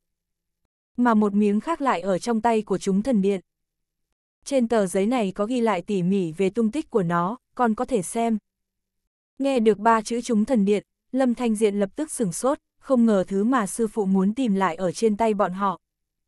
chương 799, Vụ em chuyên nghiệp. Sư phụ nhìn phản ứng của Lâm Thanh Diện, cười hỏi, sao vậy, con biết chúng thần điện. Lâm Thanh Diện gật đầu, nói lại một lượt những gì mình biết về chúng thần điện, nhắc đến chuyện người của chúng thần điện muốn mời mình gia nhập. Sau khi sư phụ nghe xong, cười nói, xem ra độ khó của việc đến chúng thần điện tìm ngưng hồn ngọc dễ dàng hơn ta nghĩ không ít, nếu bọn họ đã muốn mời con gia nhập, chờ con tiếp xúc đến chuyện của chúng thần điện, muốn tìm được ngưng hồn ngọc, chắc hẳn cũng không phải là việc khó gì. Nhưng ba con từng căn dặn con rằng không nên trêu chọc vào người của chúng thần điện, không biết sư phụ hiểu biết những gì về chúng thần điện này. Lâm Thanh Diện lên tiếng hỏi. Trên mặt sư phụ lộ vẻ suy tư, nói, ba con bảo con không nên trêu chọc người của chúng thần điện, rất có thể là bởi vì biết được lợi hại của chúng thần điện, sợ con chọc phải phiền toái không cần thiết, cũng không phải là nói bản thân chúng thần điện có vấn đề gì. Dựa vào hiểu biết của ta, chúng thần điện có thể nói là thế lực đứng trên đỉnh chóp nước C, thậm chí là trên toàn thế giới. So với những thế gia kia mà nói, bọn họ thuần khiết hơn rất nhiều, vẫn luôn cố gắng giữ gìn ổn định của giới võ đạo, chấp pháp giả chính là thế lực dưới danh nghĩa của chúng thần điện. Nghe thấy lời này của sư phụ, Lâm Thanh Diện nhướng mày, không ngờ chấp pháp giả lại thuộc về chúng thần điện. Nếu nói như vậy, về bản chất chúng thần điện cũng thật sự không có gì phải nghi ngờ, dù sao một thế lực bằng lòng giữ gìn ổn định của giới võ đạo sẽ không tồn tại mục đích hiểm ác gì. Nếu đúng là như vậy, lời nhắc nhở lúc trước ba nói với anh, có lẽ thật sự là vì thực lực của chúng thần điện quá mạnh, sợ anh vô duyên vô cớ chọc phải người của chúng thần điện. Ngoại trừ giữ gìn ổn định của giới võ đạo, trong tay chúng thần điện còn nắm giữ những tư liệu mà con chưa từng nghe đến về thế giới này, hiểu biết của con về thế giới này vẫn chỉ dừng lại ở mức độ bề ngoài mà thôi, nếu có cơ hội gia nhập chúng thần điện, đối với con cũng không phải là chuyện xấu gì, ít nhất có thể khiến con hiểu rõ về thế giới này hơn. Sư phụ nói tiếp, Lâm Thanh Diện khẽ gật đầu, biết lúc trước quả thật mình phòng bị chúng thần điện hơi quá rồi. Hơn nữa sau khi chứng kiến thủ đoạn mà sư phụ sử dụng, Lâm Thanh Diện quả thật cảm thấy bản thân hiểu biết về thế giới này quá ít, nếu có cơ hội, anh cũng rất muốn biết một số bí ẩn liên quan đến thế giới này. Đáng tiếc anh không biết người của chúng thần điện ở nơi nào, chỉ có thể chờ đợi lần sau người của chúng thần điện đến tìm anh, lúc đó mới có thể hỏi rõ ràng một chút. Nên nói đều đã nói cả rồi, ta còn nhiều nhất là 3 năm, nếu trong vòng 3 năm không thu thập đủ 3 miếng ngưng hồn ngọc, vậy ta chỉ có thể đối mặt với kiếp nạn kia. Sư phụ hơi xúc động nói. Sư phụ, người yên tâm, con nhất định sẽ cố hết sức mình tìm hai miếng ngưng hồn ngọc còn lại cho người. Lâm Thanh Diện nghiêm túc nói. Sư phụ gật đầu, sau đó đưa miếng ngưng hồn ngọc trong tay mình cho Lâm Thanh Diện, nói con cầm miếng ngưng hồn ngọc này trước, bình thường đeo trên người có hiệu quả tập trung tinh thần, tăng năng lực phản ứng và năng lực suy tính lên rất nhiều, được xem là bảo vệ vô cùng hiếm có. Lâm Thanh Diện cũng không từ chối, đưa tay nhận miếng ngưng hồn ngọc kia, dù sao anh cần phải tìm ngưng hồn ngọc, vậy nhất định phải biết rõ dáng vẻ của nó, cầm một miếng hàng mẫu ở trên người vẫn tiện hơn. Sau khi sư phụ giao phó xong, ở lại nhà họ Lâm thêm hai ngày, cũng căn dặn trong khoảng thời gian này hai huynh đệ Tiêu Phong Tiêu Vân chờ ở nhà họ Lâm, nghe theo sắp xếp của Lâm Thanh Diện. Lúc trước đôi song sinh này vẫn luôn đi theo sư phụ tập võ, chưa từng trải nghiệm cuộc sống đời thường, vì vậy đối với việc ở tại nhà họ Lâm vẫn vô cùng vui vẻ. Chủ yếu nhất chính là nhà họ Lâm là gia tộc đệ nhất kinh đô, có tiền có thế, mấy ngày nay hai người bọn họ ở nhà họ Lâm được chiêu đãi đến là thoải mái, bây giờ coi như Lâm Thanh Diện đuổi hai người bọn họ, hai người bọn họ cũng không muốn đi. Hai ngày sau, sư phụ muốn đi làm chuẩn bị khác cho kiếp nạn ba năm sau kia, vì vậy rời khỏi kinh đô, đồng thời cũng để lại cho Lâm Thanh Diện phương thức liên lạc, để sau khi anh tìm được ngưng hồn ngọc thì liên hệ với mình. Sau khi sư phụ rời đi, Lâm Thanh Diện nói chuyện mình cần phải đi tìm kiếm ngưng hồn ngọc cho hứa Bích Hoài. Hứa Bích Hoài nghe xong tất nhiên không vui vẻ nổi, dù sao Lâm Thanh Diện mới trở về không bao lâu, giờ lại muốn rời đi, đương nhiên cô vô cùng không nỡ. Tiếp tục như vậy nữa, Lâm Nhất Nặc cũng sắp không biết ba mình là ai rồi. Lâm Thanh Diện cũng biết mình như thế này quả thật rất thiệt thòi cho hai mẹ con hứa Bích Hoài và Lâm Nhất Nặc, nhưng sư phụ đối với anh có ân nặng như núi, anh không thể nào thấy sự phụ sắp chịu kiếp nạn mà ngồi im không để ý đến. Anh cũng muốn trải qua cuộc sống bình thường mà hạnh phúc với hai mẹ con hứa Bích Hoài, nhưng loại nguyện vọng này chỉ có thể đợi muộn thêm một chút rồi thực hiện mà thôi. Vì đền bù cho hai mẹ con hứa Bích Hoài, Lâm Thanh Diện đồng ý sẽ ngoan ngoãn ở trong nhà với bọn họ một tháng, sau đó mới rời đi tìm ngưng hồn ngọc. Hứa Bích Hoài cũng biết Lâm Thanh Diện là người trọng tình trọng nghĩa, dù phát cáo cũng chỉ là hơi phàn nàn, chứ không thật sự ngăn cản Lâm Thanh Diện đi làm chuyện của mình, vì vậy rất nhanh đã tha thứ cho Lâm Thanh Diện. Nhưng vì để Lâm Thanh Diện cảm nhận được cảm giác của một người ba trong quá trình trưởng thành của Lâm Nhất Nặc, nên trong một tháng Lâm Thanh Diện ở nhà, tất cả việc ăn uống chơi đùa của Lâm Nhất Nặc đều do Lâm Thanh Diện phụ trách. Trong một tháng này, Lâm Thanh Diện nhất định phải trở thành một vú em đúng nghĩa, nếu không hứa Bích Hoài sẽ không cho phép Lâm Thanh Diện rời đi. Tất nhiên Lâm Thanh Diện vui vẻ đồng ý, cảm thấy chuyện hứa Bích Hoài nói cũng không phải là chuyện khó khăn gì, không phải chỉ là chăm con thôi sao, học một chút là biết ý mà. Nhưng khi Lâm Thanh Diện đối mặt với chuyện thay tã cho Lâm Nhất Nặc, bị Lâm Nhất Nặc tiểu ra người, bị Lâm Nhất Nặc giày vò cả đêm không ngủ được, anh mới thật sự cảm nhận được sự khó khăn của việc nuôi con nhỏ. Độ khó của việc nuôi một đứa bé khôn lớn, chỉ sợ không thua gì độ khó đạt đến cao thủ hóa cảnh. Cũng chính vì cảm nhận được gian khổ này, Lâm Thanh Diện mới hiểu được cố gắng của hứa Bích Hoài ở trong nhà cũng không ít hơn anh là bao. Sau khi giao con cho Lâm Thanh Diện, hứa Bích Hoài cảm thấy thoải mái hơn nhiều, nhân cơ hội này, mỗi ngày cô đều đi dạo phố, chạy bộ, đắp mặt, bắt đầu cuộc sống nhàn nhã mà thoải mái. Khi Lâm Thanh Diện bởi vì Lâm Nhất Nặc không ngoan ngoãn ăn mà bận tối mày tối mặt, ở trong một tòa nhà lớn cách khu nhà tổ nhà họ Lâm không xa. Trong một căn phòng có diện tích không lớn, một người đàn ông mặc áo choàng màu đen đang đứng trước cửa sổ, nhìn chăm chú vào khu nhà tổ nhà họ Lâm ở cách đó không xa. Rất lâu sau, trong áo choàng màu đen truyền ra một giọng nói âm hiểm, Lâm Thanh Diện, xem ra cuộc sống gần đây của cậu không tệ, chăm con vui vẻ như vậy. Đáng tiếc tôi đã không còn nhiều thời gian, chẳng mấy chốc người của đảo quốc sẽ đến kinh đô, tôi nhất định phải giải quyết cậu trước lúc đó. Tôi cũng đã thăm dò rõ ràng thói quen ra ngoài trong khoảng thời gian này của vợ cậu, cố mà quý trọng quãng thời gian hạnh phúc cuối cùng của cậu đi, bởi vì chẳng mấy chốc cậu sẽ chết trong tay tôi. chương 800, uy hiếp. Buổi chiều ngày nọ, hứa Bích Hoài và Trung Linh Nhi hẹn nhau cùng đi dạo phố, cô thoáng nhìn Lâm Thanh Diện ở trong phòng, trông thấy Lâm Thanh Diện đang vì thay tã cho Lâm Nhất Nặc mà sứt đầu mẻ chán, chợt bật cười ra tiếng. Lâm Thanh Diện nghe thấy tiếng cười của hứa Bích Hoài, quay đầu nhìn cô nói, vợ à, em mau đến giúp anh đi, nhóc con này thật không nghe lời, anh căn bản không giữ được nó. Hứa Bích Hoài nở nụ cười, nói em đã hẹn đi dạo phố cùng Trung Linh Nhi rồi, thời gian sắp đến, em phải mau đi thôi, tự anh nghĩ cách làm đi, tin tưởng chính mình, anh chắc chắn có thể làm được. Nói xong, hứa Bích Hoài quay người rời khỏi phòng. Trên mặt Lâm Thanh Diện tràn đầy bất đắc dĩ, chờ sau khi hứa Bích Hoài đi rồi, vụng trộm gọi chị Tôn đến, bảo chị Tôn thay tã giúp. Sau khi hứa Bích Hoài ra khỏi khu nhà tổ nhà họ Lâm, lập tức đi đến nơi đã hẹn với Trung Linh Nhi. Bởi vì khu nhà tổ nhà họ Lâm nằm ở trung tâm kinh đô, rất gần trung tâm thương mại, vì vậy hứa Bích Hoài chỉ cần đi bộ là có thể đến nơi mua sắm rồi. Tại giây phút hứa Bích Hoài đi ra ngoài này, cô cũng không chú ý đến, ở chỗ rẽ đi vào khu nhà tổ nhà họ Lâm có một bóng người mặc áo choàng màu đen vọt đến. Trong nhà, Lâm Thanh Diện đang tắm nắng cùng Lâm Nhất Nặc, lúc này điện thoại di động của anh vang lên, anh lấy ra liếc nhìn, phát hiện là Trung Linh Nhi gọi đến. Sau khi điện thoại kết nối, bên kia truyền đến giọng nói của Trung Linh Nhi. Anh, chị dâu ra ngoài chưa, em đợi ở chỗ này lâu lắm rồi, sao chị ấy còn chưa đến, em gọi đến số của chị ấy cũng không có ai tiếp. Lâm Thanh Diện lập tức sững sờ, lên tiếng, hơn nửa tiếng trước chị dâu em đã đi ra ngoài rồi, theo lý mà nói, đi bộ thì cũng đã đến. Nhưng mà em không nhìn thấy chị ấy, em gọi điện thoại cũng không bắt máy, nếu không anh thử gọi cho chị ấy xem sao. Trung Linh Nhi nói. Lâm Thanh Diện đáp lời, sau đó vội vàng gọi đến số của hứa Bích Hoài, nhưng một lúc lâu sau, bên kia cũng không có ai nghe máy. Trong lòng Lâm Thanh Diện chợt sinh ra một dự cảm không lành, anh mau chóng gọi chị Tôn đến, nhờ chị ấy chăm sóc Lâm nhất nặc, mà anh thì vội vàng đi tìm Dư Tùng, hỏi ông ta xung quanh khu nhà tổ nhà họ Lâm có bất thường gì không. Dư Tùng tỏ ý cũng không nhận được thông báo của thuộc hạ, theo lý mà nói, là không xảy ra chuyện gì. Nét mặt Lâm Thanh Diện tràn đầy sốt ruột, lại gọi mấy cuộc điện thoại cho hứa Bích Hoài, nhưng vẫn không có ai nghe, trực giác nói cho anh biết, chắc chắn hứa Bích Hoài đã xảy ra chuyện gì, hơn nữa người để mắt đến hứa Bích Hoài này, ít nhất cũng là cao thủ tông sư cảnh, nếu không cũng không có khả năng tránh được theo dõi của người của ẩn sát.